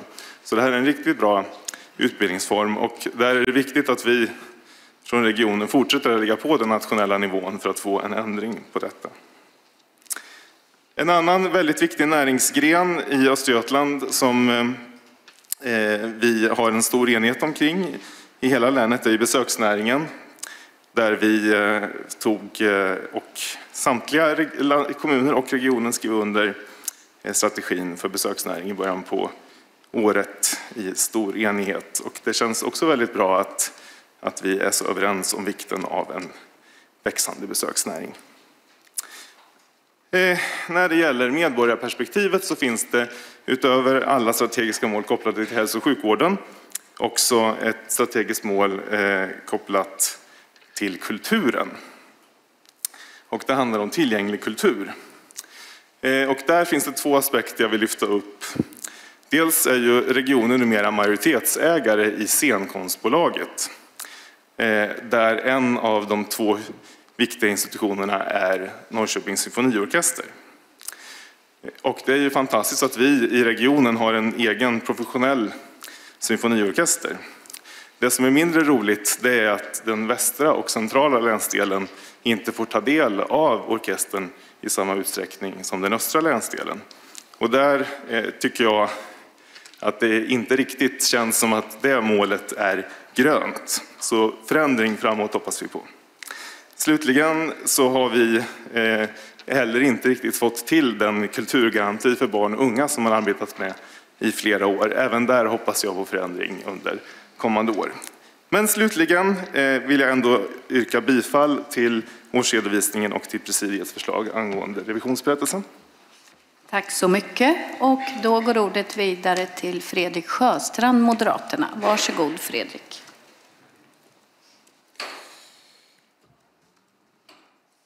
Tack för ordförande. När man läser den här årsredovisningen, och Mats börjar ju också med det och påpekar att vi i Östergötland har en fantastiskt bra hälso och sjukvård som kvalitetsmässigt står sig väldigt väl jämfört med andra län. Men man läser ju också berättelsen om att vi på något sätt på vägen har krånglat till det för människor när det gäller att få denna hälso och sjukvård. Vi har någonting som vi är väldigt bra på, men som också är väldigt svårt att få, få tillgång till. Man kan göra lite nedslag till exempel i årsredovisningen. Vi kan börja med den första ingången, 1177, där vi ser att vi har en ganska st stora problem när det gäller tillgängligheten.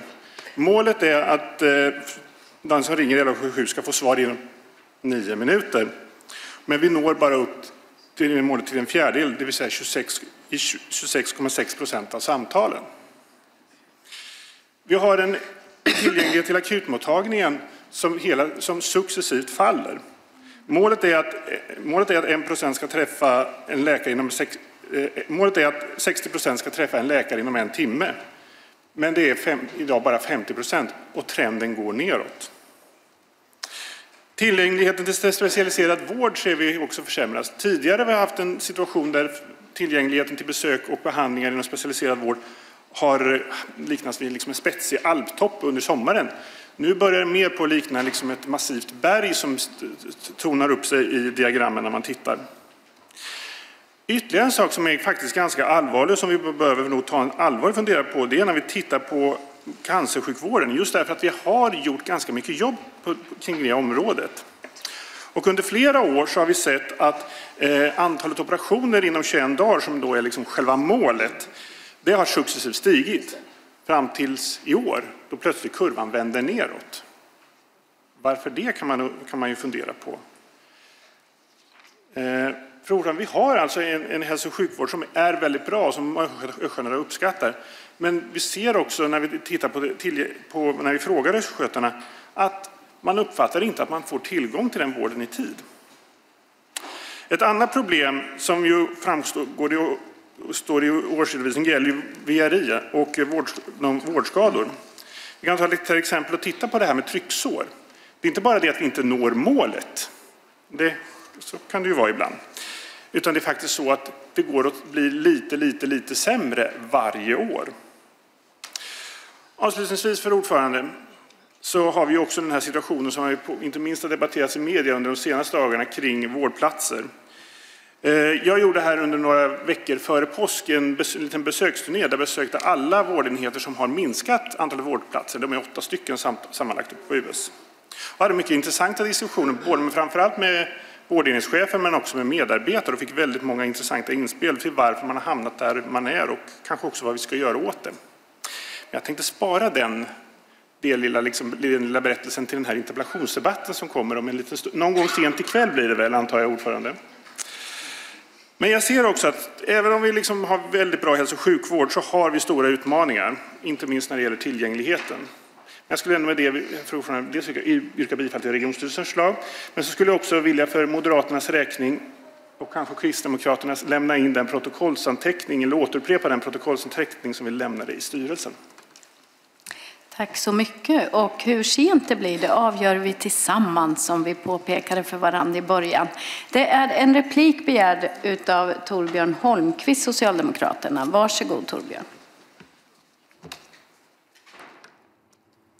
Ja, Fredrik, du trycker på två viktiga frågor, tre, men två viktiga frågor som, som handlar om tillgänglighet och eh, VRI, vårdrelaterade infektioner. Alltså, Absolut, vi ser det också. Så att det är inte bra att tillgängligheten försämras när det gäller akutmottagningar, när det gäller specialiserad vård med mera. Men vi vet samtidigt att vi, trots att det inte är bra, att vi är Eh, bäst i landet när det gäller tillgängligheten, när det gäller besök och eh, behandling i primärvård och specialiserad vård. Men vi är inte nöjda för det, för vi ser en negativ trend. Och därför är det jätteviktigt att man får fram vad är orsakerna. Och mycket av orsakerna är bemanningsproblematiken som vi slåss med tillsammans med hela landet. Och en annan orsak är att vi får ett ökat antal patienter som besöker till exempel akutmottagningen.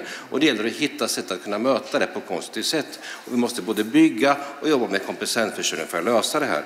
När det gäller VRI så är det lite konstigt har vi sagt ibland, för vi ser också att vi ligger bland de bästa när det gäller att ta hand om hygienen. Vi, vet, vi gör ju många frågor för att klara av det här med VRI, vårdrelaterade infektioner. Vi bygger bort det genom att inte ha stora salar. Vi jobbar mycket med hygienfrågorna. Och när det gäller hygienfrågorna så är vi väldigt duktiga på hygienen, men ändå är vi dåliga på VRI. Så det gäller att hitta lite grann vad är pudelns kärna när det gäller vårdrelaterade infektioner. Och det vet jag Stefan och vi pratar mycket om på sen. För just, vad, hur kommer man dit? Så det är nog gemensamma problem. Så ja, vi ser och vi jobbar med det. Men vi eh, känner oss också, eh, eh tycker att personalen gör en fantastisk insats i och med att vi ligger rätt så mycket i, i topp på många frågor också. Där. Och då ett genmäle. Det räckte så. Han väntar till interpellationen sen. Tack så mycket. Då var det redan slut på det replikskiftet och vi återgår till talarlistan. Och på tur är Lena Kecker Johansson, Kristdemokraterna. Varsågod Lena. Tack ordförande, fullmäktige. Ja, en sån här dag så är det naturligtvis majoritetens roll att ta fram allting som är bra som har skett under året. Och oppositionens uppgift är att kritiskt granska och ställa frågor och, och faktiskt fokusera på det som inte då, eh, fungerar. Och genom att titta på den här bara inledningen till årsredovisningen Regionordförande, regionstyrelsens ordförande Mats Johansson skriver där i inledningen och för all del även i, i sitt anförande. Det gör mig bekymrad för allt är bra. Det är inga orosmoln, nästan inte alls. Och sen när man läser själva årsredovisningen på sida efter annan så kommer det faktiskt fram stora brister. Det är gula, det är röda resultat. Särskilt när det gäller vården.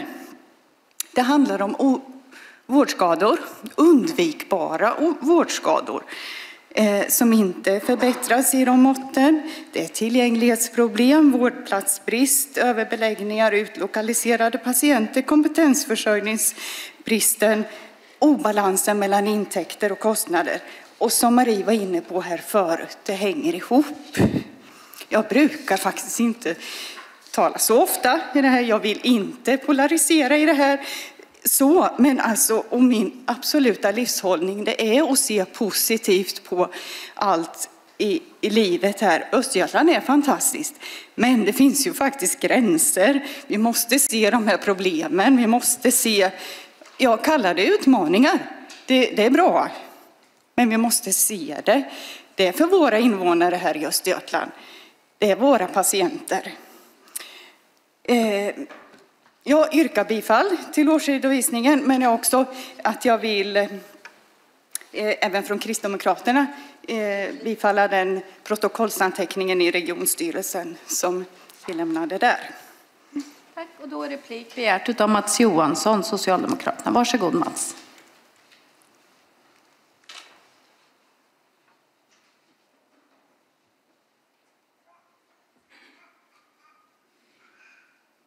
Jag har bara eh, den kommentaren över att eh, det var... Sänker den där lite grann. Eh, du ställde frågan om, om hur bilden är kring hälso och sjukvården och jag tycker nog att vi har balanserat det i våra inlägg. Däremot så är det ju ett fakta som vi också presenterar i årsredovisningen med de här spindeldiagrammen som det går att snabbt konstatera att när man mäter vårdens resultat, medicinska resultat i Östergötland så kommer Östergötland väldigt väl ut i jämförelse med riket i övrigt. Och det tycker inte jag är någon överdrift, överdrift utan det är väl egentligen någonting som inte minst våra medarbetare som jobbar med de här frågorna ska känna en oerhörd stolthet över.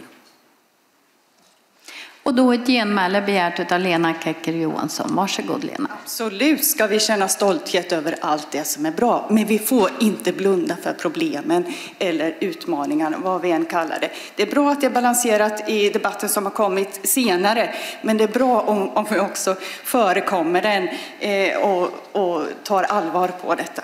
Tack.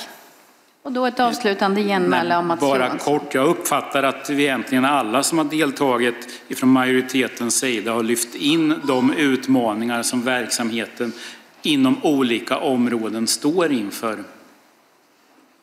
Tack så mycket. Och då var det slut på replikskiftet och vi återgår till talarlistan. Och nästa talare är Stefan Redén, Kristdemokraterna. Varsågod Stefan. Tack för det, medborgare, ledamöter och presidier. Tack för möjligheten att få säga några ord här. Till vardags en av de som jobbar på sjukhuset. Jag önskar börja med att lägga bifall till årsredovisningen. Jag vill också gå från årsredovisningen och medborgarfokus. Dagens medicin, priset som vi har fått som sjukhus här. Mycket är jättebra. Och kaos och gigantiska utmaningar. 2016 har vi haft en politik som har ett resultat kan vi säga. Bland annat idag kan vi läsa då 140 läkare från eh, internmedicin, kirurgi, geriatrik, kardiologi, njurmedicin, hematologi, neurologi, ortopedi, infektion, anestesi och psykiatri. De ledande, alla som har driver sjukvården idag. Jag har skrivit på det själv. Jag känner mig ledsen och orolig. Jag skulle önska mig se mer krismedvetenhet just idag. Kajsa, för ett år sedan ungefär debatterade du och jag om din uppgift som ordförande i utskottet för personal och kompetensförsörjning. Vi kan inte vara stolta. Det är likadant på flera ställen i landet, men lokalt har vi ett ansvar. Har vi tagit det? Man kan undra på vilket sätt man säkerställer från Regionstyrelsen säker vård idag. Det är också en dag idag när det här 140 kollegor går ut och beskriver det på detta sättet. Man säger att patientsäkerheten är hotad nu med vårdrelaterade infektioner, med död, med förlängt vårdförlopp, där kollegor faktiskt inte gör vårdarbete utan logistiskt arbete. Av vilket skäl ska vi höra, vilket är oerhört plågsamt för den enskilde och organisationen, att vi behöver stryka patienter som ska opereras för cancer? Mats, Karo, Kajsa. Vi hörde idag. Vi skriver att vi ska vara en attraktiv arbetsgivare, goda förutsättningar. Vi ska vara en hållbar region för hälso och sjukvården. Kris betyder också utveckling. Jag känner faktiskt kris. Jag känner mig ledsen och orolig som jag sa. Jag önskar mera krismedvetenhet. Jag tycker inte det var, man har inte gjort tillräckligt här. Det har säkert inte man gjort tidigare, Marina Alliansen hade sitt heller. KD har också sin roll här. Regionen säger, eh, revisionen, Anders Enestad där sa tidigare att det är en pressad situation för företrädarna, för verksamhetschefer. För att man får inte syssla med, sjukvård, man får syssla med logistik. Alltså, jag skulle jag sitta, skulle jag vara där, Mats, skulle jag tillkalla en kriskommission. Jag skulle samla gänget och eh, komma till. Det kan inte vara partipolitik det här någonstans. Det är vi är medborgarföreträdare, vi är valda av människorna i Östergötland som har, också vi, akut sjukdom, allvarlig sjukdom. Vi får inte operationen i tid. Vi får inte alltid våra vårdgarantier i tid. De 140 är djupt oroliga. Och ja, mycket är bra. Men idag, krismedvetenheten, resultatet av 216 års årsredovisning håller vi framför oss. Och det finns mycket mer att göra. SKL har givit en fantastiskt förslag på 60-punktslista som man skulle, skulle kunna använda långt. Och den har reviderat, eller revolutionerat bland annat psykiatrin på andra ställen. Man har fått ett utfall i god klinisk funktion i de här sakerna. Och åt det hållet behöver vi göra. Marie föreslog att man skulle träffas och prata med tydlighet och få till det här. Jag, jag stödjer det fullt ut. Man behöver skapa ett förtroende för hela organisationen, hela processen. Vi är medborgarföreträdare, det är medborgare, medborgarna som kommer till sjukhus, det är verksamhetslinjen här och det är politiken. Vi behöver tillsammans, vi behöver inte säga du gör inte ditt jobb eller jag gör inte mitt jobb eller vi tillsammans. Vi behöver tillsammans. Vi behöver någonstans stanna upp, dra i snöret och känna det här blev inte bra, vi kan göra mycket bättre. Jag skulle gärna höra Mats och Kajsa särskilt då få till det här. Sköterskornas, vi fick utanför från BMA, läkarnas, vårdarbetarnas situation är som Anders sa pressad. Det vet vi sedan länge. Jag skäms för det här. Jag känner mig ledsen och orolig. Jag skulle önska medborgare, eller med krismedvetenheten. Man kanske inte ska raljera, men någonstans måste man sticka ut så att det känns och syns. Det finns bland annat något som kallas, man säger, kejsarens nya kläder. Det har varit en fantastisk eh, kultur som hette, eh, film som hette Stinsen, eh, Stinsen brinner. Har vi inte en medvetenhet och tydlighet och vi ser vad som verkligen finns här och nu. Kanske du och jag imorgon behöver den akuta vården och får vänta tre dygn på akuten och får operationen skjuten på i elva veckor. Jag tar till lite, men det är också någon som får det. Hur ska vi säga till dem? Vad vill du ha det? Jag vill att min morsa och pappa och granne och mina kollegor ska bemötas väl och att få behandling och den vård de behöver. Alla behöver det. Kommentera gärna Mats och Kajsa. Vi har stort ansvar. Tack. Tack. Och då replik begärt av Mats Johansson, Socialdemokraterna. Varsågod Mats.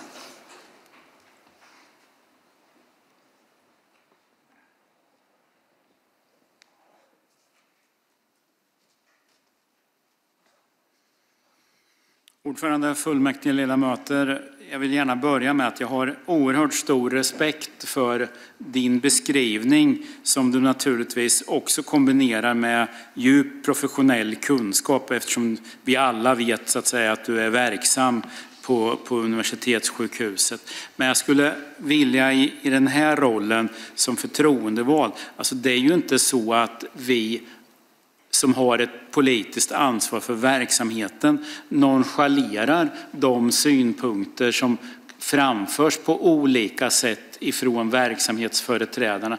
Vi tar det på största allvar och det hoppas jag ändå har framgått av de kommentarer som, som är givna här.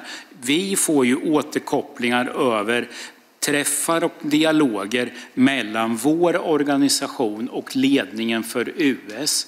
Och jag, är, jag kan upprepa det som också har stått i media. Jag är övertygad om att det ändå är i sak så att det måste vara ett åtgärdspaket som diskuteras fram som är förankrat i, i verksamheten.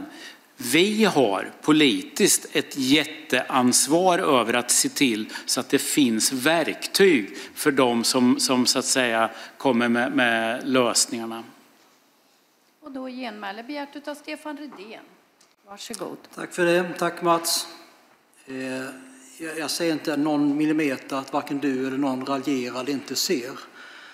Men vi kan inte vara nöjda med att vi stryker canceroperationer. Vi kan inte någonstans känna att det här är bra. Vi måste hela vägen gå vidare till att vi ska ha en nöjdhet. Det här, jag, jag brukar säga, eh, det här Dagens Medicin, bästa sjukhus, hur illa är det på de andra ställena? Jag skäms tycker det är pinsamt. Gör paus för den undersökningen i fem år och gör en omstart. Alla medborgarna i Östergötland behöver få till det. Det kunde blivit ett bättre utfall, Mats. Vi är inte där. Och hur ser det ut vidare? För ett år sedan, Kajsa, debatterade vi det här. Vi såg början på det här. Det har eskalerat. Det är den kurvans riktning som vi behöver tydliggöra. Och ett avslutande genmäle till Mats Johansson. Ja, alltså, du, du, XFM tar exempel ifrån canceroperationerna. Nej, det tror jag vi alla konstaterar liksom att det är inte bra. Och, och det måste vi hitta liksom lösningar och motverka på. Det som kommer under dagens sammanträde är ju att vi i svaret på den här interpellationen presenterar både långsiktiga och kortsiktiga åtgärder och då lär vi väl återkomma till hur man kan försöka komma till rätta med den uppkomna situationen. Och så ett avslutande genmäle till Mats. Mm. Till Stefan, varsågod. Tack, jag tycker du lyssnat och hoppas att det blir bra. Tack, och då var det slut på replikskiftet och vi återgår till talarlistan. Och nästa talare är Gary Sparborn, Moderaterna. Varsågod. Tack för ordförande. Ledamöter, fru ordförande. Ehm, ja, till att börja med så ska jag yrka bifall på ehm, styrelsens förslag. Så har vi klarat av den lite. Ehm, regionens årsredovisning är, vilket jag framförde redan på regionstyrelsen, ett ganska väl utformat dokument tycker jag. Det är snyggt layoutat, glada färger och innehåller massor med intressanta upplysningar massor med fakta eh, som vi kan använda oss väl av. Det är en bra plattform.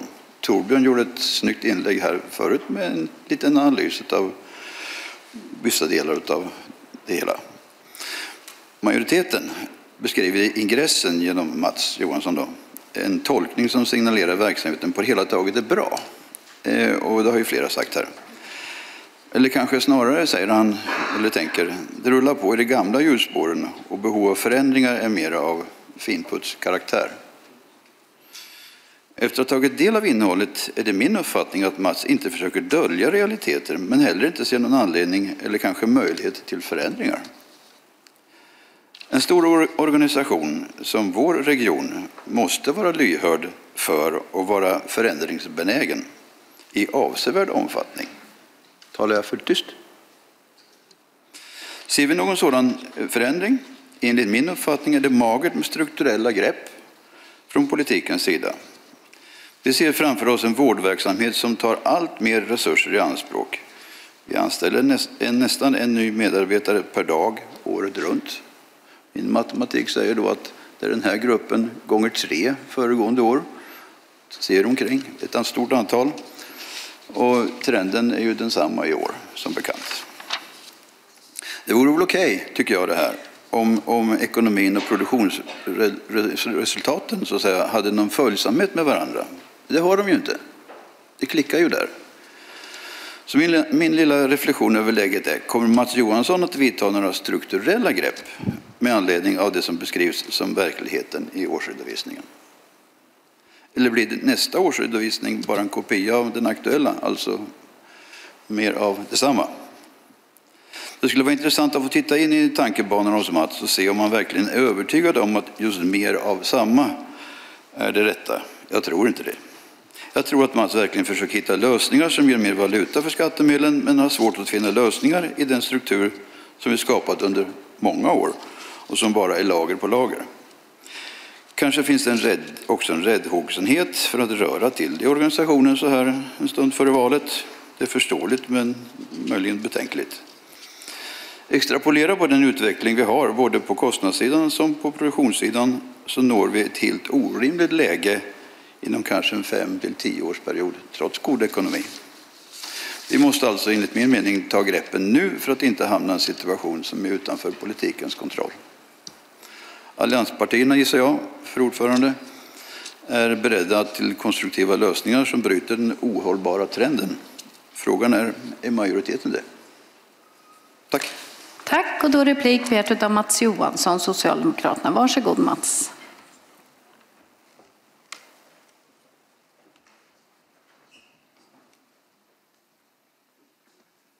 Ordförande, fullmäktige ledamöter.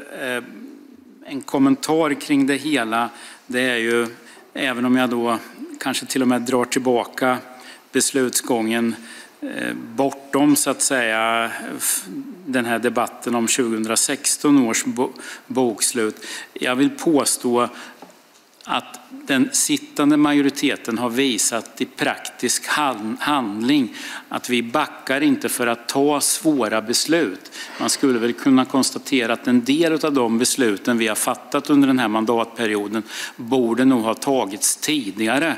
Men det är en helt annan debatt och diskussion. Så att din, din fråga om strukturella åtgärder tycker jag kommenteras också i bokslutet. Vi har startat väldigt mycket långsiktigt arbete. Det är till exempel utredningen om den nära vården, förstärkningen av primärvården är två sådana exempel som naturligtvis jag hoppas kommer att ge resultat i framtiden. Och då genmäle begärt av Gary Sparborn. Varsågod. Ja, mycket kort. Vi var några stycken som var på Vitalismässan eh, igår och förrgår och tittade på en mängd eh, tekniska hjälpmedel och eh, mjukvara och hårdvara, en massa saker som alltså jag ser skulle passa in i vår, vår verksamhet på ett alldeles utmärkt sätt. Alltså marknaden finns, är, är beredd idag. Marknaden har gjort jättesatsningar, sannolikt miljardsatsningar för att hjälpa vården. Tar vi hand om de delarna och gör något vettigt av det? Jag talar alltså om strukturella förändringar i det sammanhanget. Och avslutande genmäle till Mats. Ja, alltså vi har nog ingen annan eh, skillnad i uppfattningen om att digitaliseringsfrågorna är oerhört centrala för att hitta så att säga goda framtidslösningar. Och med det var det slut på replikskiftet och vi återgår till talarlistan. Och nästa talare är Katarina Engström, Miljöpartiet och efter henne Emil Broberg, Vänsterpartiet. Varsågod Katarina. Ja, fullmäktige, presidie. Eh, jag tillhör ju då majoriteten och har möjligheten att fokusera lite på glädje, glädjeämnena. Även om det naturligtvis är så att vi har stora utmaningar att ta tag i i vår region. Eh, det finns ett antal glädjeämnen i årsredovisningen. Eh, till exempel tycker jag att eh, de, satsningen på de tidiga insatserna, till exempel genom satsningen på barnhälsorna, satsningen på eh, hälsofrämjande, sjukdomsförebyggande insatserna är sådana exempel. Men det jag tänkte fokusera på här just nu, det är våld i nära relationer. Jag blir väldigt glad när jag läser den här årsredovisningen och ser vad som har hänt. För sex år sedan så hade vi i Miljöpartiet en motion här i fullmäktige då vi lyfte precis det här ämnet. Den där motionen den väckte en del debatt, den blev återremitterad, kom tillbaka hit och dök så småningom upp i hälso och sjukvårdsnämnden för ett beslut. Och det vi beslutade då det var att utreda behovet av länsövergripande vårdprogram.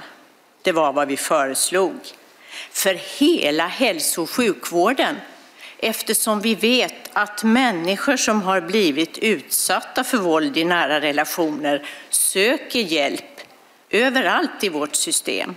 Det kan vara inom psykiatrin, det kan vara på akuten, det kan vara tandvården, det kan vara mödrahälsovården.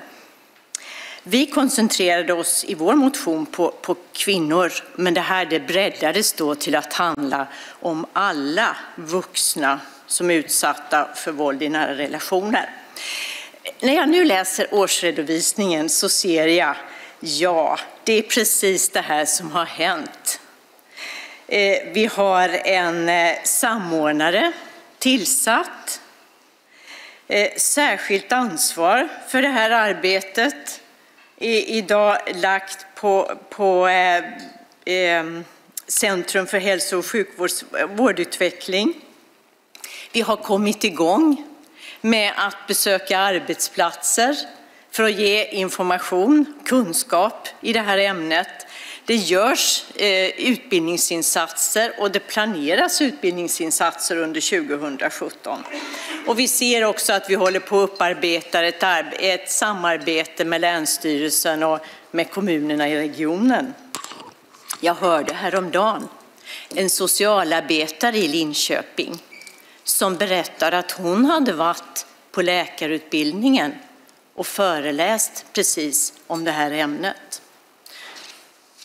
Jag är glad för den här framgången. Men även om det är så här eh, att riktlinjerna omfattar våld i alla slags nära relationer mellan vuxna så vet vi ändå att det är mäns våld mot kvinnor som är ett av våra största folkhälsoproblem och det enskilt största orsaken till kvinnors ohälsa. Vi ser ju det både på det individuella planet, vi ser det också på den strukturella nivån.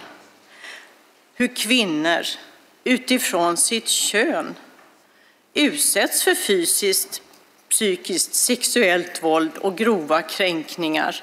Och något som är annorlunda idag mot när vi skrev vår motion, det är att det här läggs ut på sociala medier.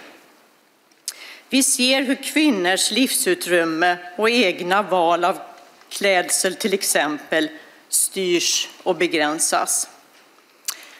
Vi kommer att ha en utbildningsdag här framöver i fullmäktige om jämställdhet utifrån att vi skrev under CMR-deklarationen.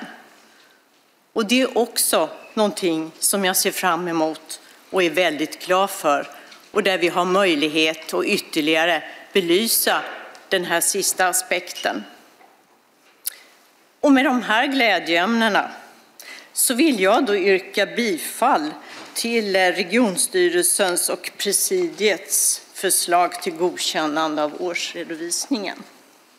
Tack så mycket. Och då går ordet vidare till Emil Broberg, Vänsterpartiet och efter honom Kajsa Karro, Socialdemokraterna. Tack för det ordförande, fullmäktigeledamöter. fullmäktige ledamöter. Vi har ju årsredovisningen som vi debatterar och diskuterar och, och reflekterar över här. Och eh, det finns ju lite olika sätt man, man kan angripa den här på. Eh, jag har tittat och jag kan dela mycket av den kritik som har funnits tidigare här under debatten hur man väljer att presentera innehållet och, och resultaten i verksamheten från majoritetens sida. Och som jag antydde lite tidigare så, så satt jag också och tittade tillbaka eh, på liksom en historisk beskrivning av hur, hur verksamheten har sett ut och hur den har beskrivits av eh, de olika aktörerna här i, i fullmäktigeförsamlingen över tid. Eh, 2016 kan man säga, det är halvvägs in i mandatperioden eh, där den nuvarande mitten-höger-majoriteten har fått styra eh, liksom med egen budget och egen kontroll över verksamheten. Och utifrån det då så tittade jag också då på vad, vad var det vi sa här inne innan valet och vad var det som skulle bli förändringar om Socialdemokraterna eh, satt vid makten. Eh, man kan säga att det fanns eh, eh egentligen fyra eh, genomgående teman som, som diskuterades precis veckorna innan valet. Det ena var att Socialdemokraterna angrep Moderaterna för brutna vallöften. Det andra handlade om att ekonomin var körd i botten. Det tredje handlade om att man inte klarar av att hantera medarbetarsituationen. Och det fjärde var att sjuk sjukhusvården skulle bedrivas utan vinstintresse. Så två år in i den här eh, mandatperioden då, eh, så kan man ju se utifrån ett medborgarperspektiv också, vad var det man kunde förvänta sig av eh, en, ett nytt styre i regionen? Den 3 augusti eh, så skrev Mats Johansson då på sin blogg, den är eh, rekommendar, vill man ha liksom en bra historieskrivning av det här så är Mats Johanssons blogg som inte har skrivits någonting på sedan, valet, men vill man veta vad, vad, Socialdemokraterna tyckte innan valet så kan man läsa den i alla fall.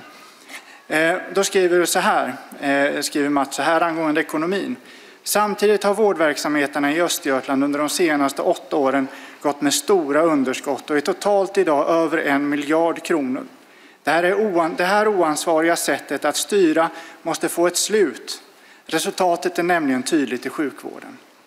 Det som är tydligt med det här är ju då att under åtta år så lyckades man bygga upp ett ekonomiskt underskott på en miljard i de sjukvårdande verksamheterna. Mats Johansson har höjt ambitionerna här. På två år så har han byggt upp ett underskott på en halv miljard. Sen har det dubbla tempot mot vad den borgerliga majoriteten hade när det gällde att driva verksamheten med negativa eh, resultat. Eh, och, och, så vidare. Och det här visar ju på att, att det finns ett grundläggande problem i att hantera den sjukvårdens, de sjukvårdande verksamheternas ekonomi i den nuvarande majoriteten.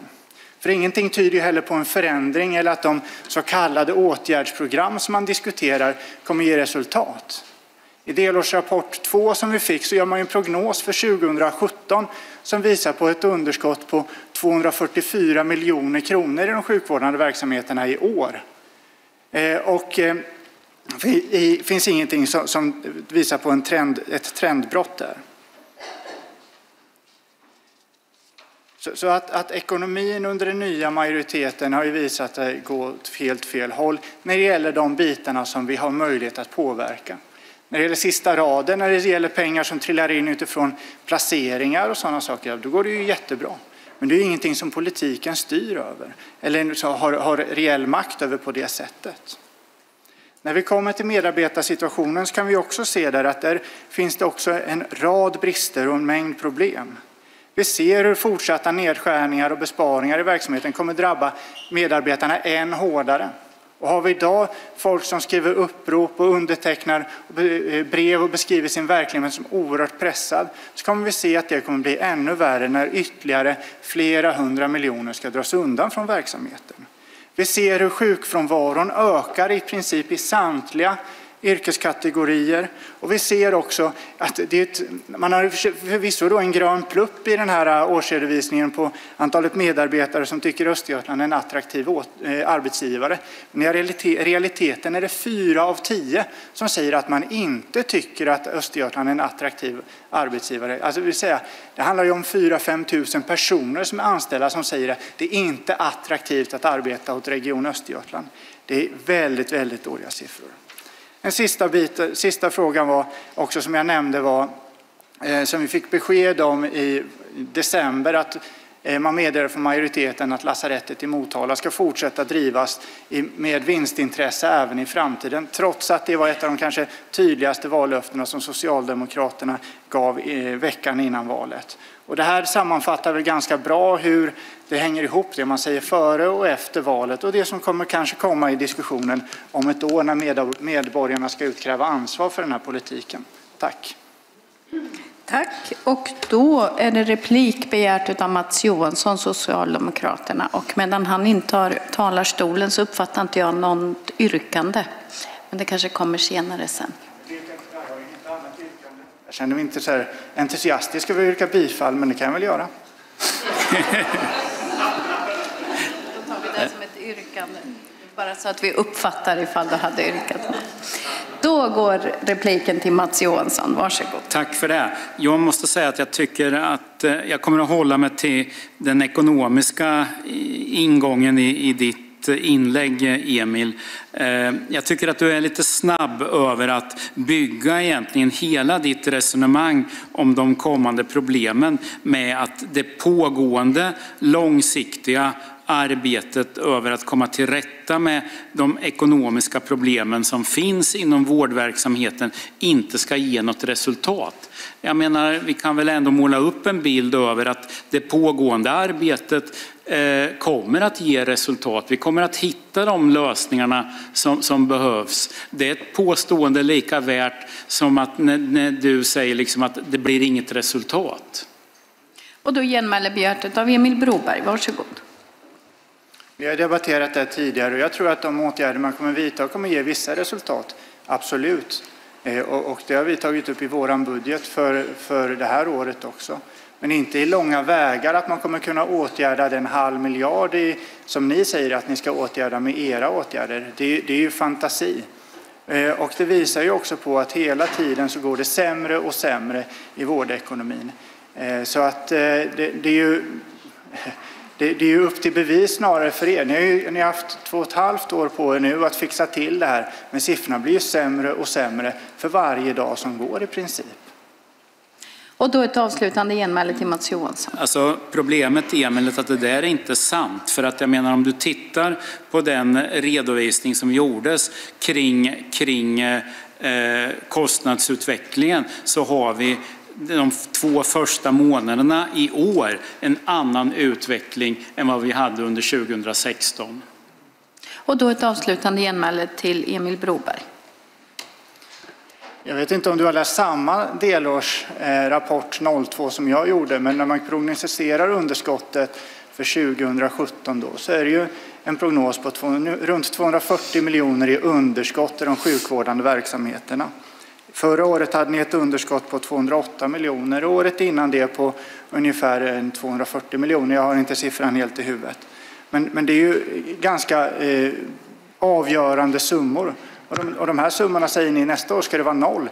Trots det har CKOC redan sagt, i, sa de i december, de kommer inte klara det här. De kommer fortsätta leverera underskott under hela budgetperioden så långt fram de kan sikta så pratar de om 50 miljoner i underskott. Och det här, har ni bara, det här är ingenting ni ens diskuterar eller tar, tar till er. Det visar ju på att era siffror, e, era idéer om nollresultat eller en ekonomi i balans i sjukvården och verksamheten bara är fantasier. Och med det var det slut på replikskiftet och vi återgår till talarlistan. Och det är Kajsa Karro, Socialdemokraterna, som står på tur och efter henne Britt-Marie H Söderberg, Liberalerna. Varsågod Kajsa. Tack så mycket för ordet. Jag vill börja med att yrka bifall till styrelsens förslag angående ärende 2 och yrka bifall till presidiets förslag gällande ärende 1. Precis som Mats Johansson sa i sin inledning så är Region Östergötland den största arbetsgivaren i länet. Och med ett eh, stort eh, arbetsgivaransvar kommer också ett eh, stort ansvar att jobba med de här frågorna. Kompetensförsörjning är ett prioriterat område för Koalition för Östergötland. Och därför har det också varit viktigt för oss att ta några strategiskt viktiga beslut tidigt under den här mandatperioden. Några sådana beslut är att sjuksköterskor kan vidareutbilda sig eh, med full lön. Vi har minst 83 stycken i vårt system. Ett annat sådant eh, beslut är att utöka blocken för allmänmedicin, läkare. Där har vi 113 stycken i systemet. Vi har också tagit beslut om att tillskapa ett eh, språksnabbspår tillsammans med universitetet och Arbetsförmedlingen, där också flera kurser har startats. Vi har också tagit beslut om introduktion för undersköterskor och sjuksköterskor, en kvalificerad yrkesintroduktion för att komma in i sitt yrke. Och parallellt med det här så löper också arbetet med utfasning av bemanningsföretag. Vi har också under året haft tre stycken insatsområden i regionstyrelsen som har berört just kompetensförsörjning. Ett av dem har varit eh, pilotprojektet kring vårdnära service som nu 31 mars tog slut, där man på båda ställena har sett och uppvisat goda resultat. Men vårdnära service är ju en del av det som vi bredare kallar för rätt använd kompetens. Där tittar personalutskottet i år också på de frågorna och att rätt använd kompetens är så mycket mer än bara vårdnära service.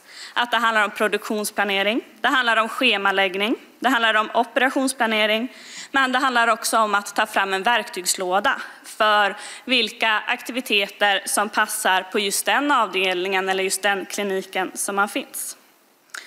En annan fråga som är viktig, det handlar om chefskapet. Om man ska prata om de här färgerna så ser vi att det är under eh, chefskapet som vi har många gröna pluppar. Vi har jobbat med att det ska finnas färre medarbetare per chef, men också att utveckla chefsutbildningen så att fler eh, ska kunna känna att det finns förutsättningar att vara chef, men också att vi har ett hållbart ledarskap. Men regionen står inför ett antal utmaningar. Vi måste fortsätta arbeta med sjukskrivningstalen. Och det här inte minst utifrån ett jämställdhetsperspektiv. Där vi ser att kvinnors sjukskrivning är i mycket högre grad än mäns.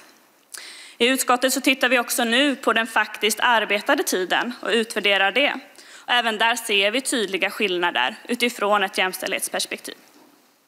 Arbetet med arbetsmiljön och att vi har hälsofrämjande arbetsplatser är också prioriterat och ett viktigt jobb att göra.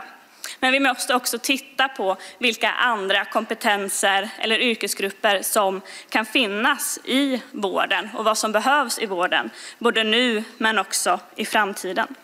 Och sist men inte minst så handlar det också om att vi måste fortsätta att systematiskt arbeta med att vara en attraktiv arbetsgivare. Och där handlar det ju frågan främst om arbetsmiljön. Man skulle kunna sammanfatta det med att vi har gjort mycket. Vi har tagit beslut som har varit nödvändiga för att säkra kompetensförsörjningen. Men att det också är så att vi ser att vi har utmaningar kvar. Framför allt för att få nuvarande medarbetare att stanna, men också för att rekrytera framtida medarbetare. Tack så mycket. Och då går ordet vidare till Britt-Marie H Söderberg, Liberalerna. Varsågod.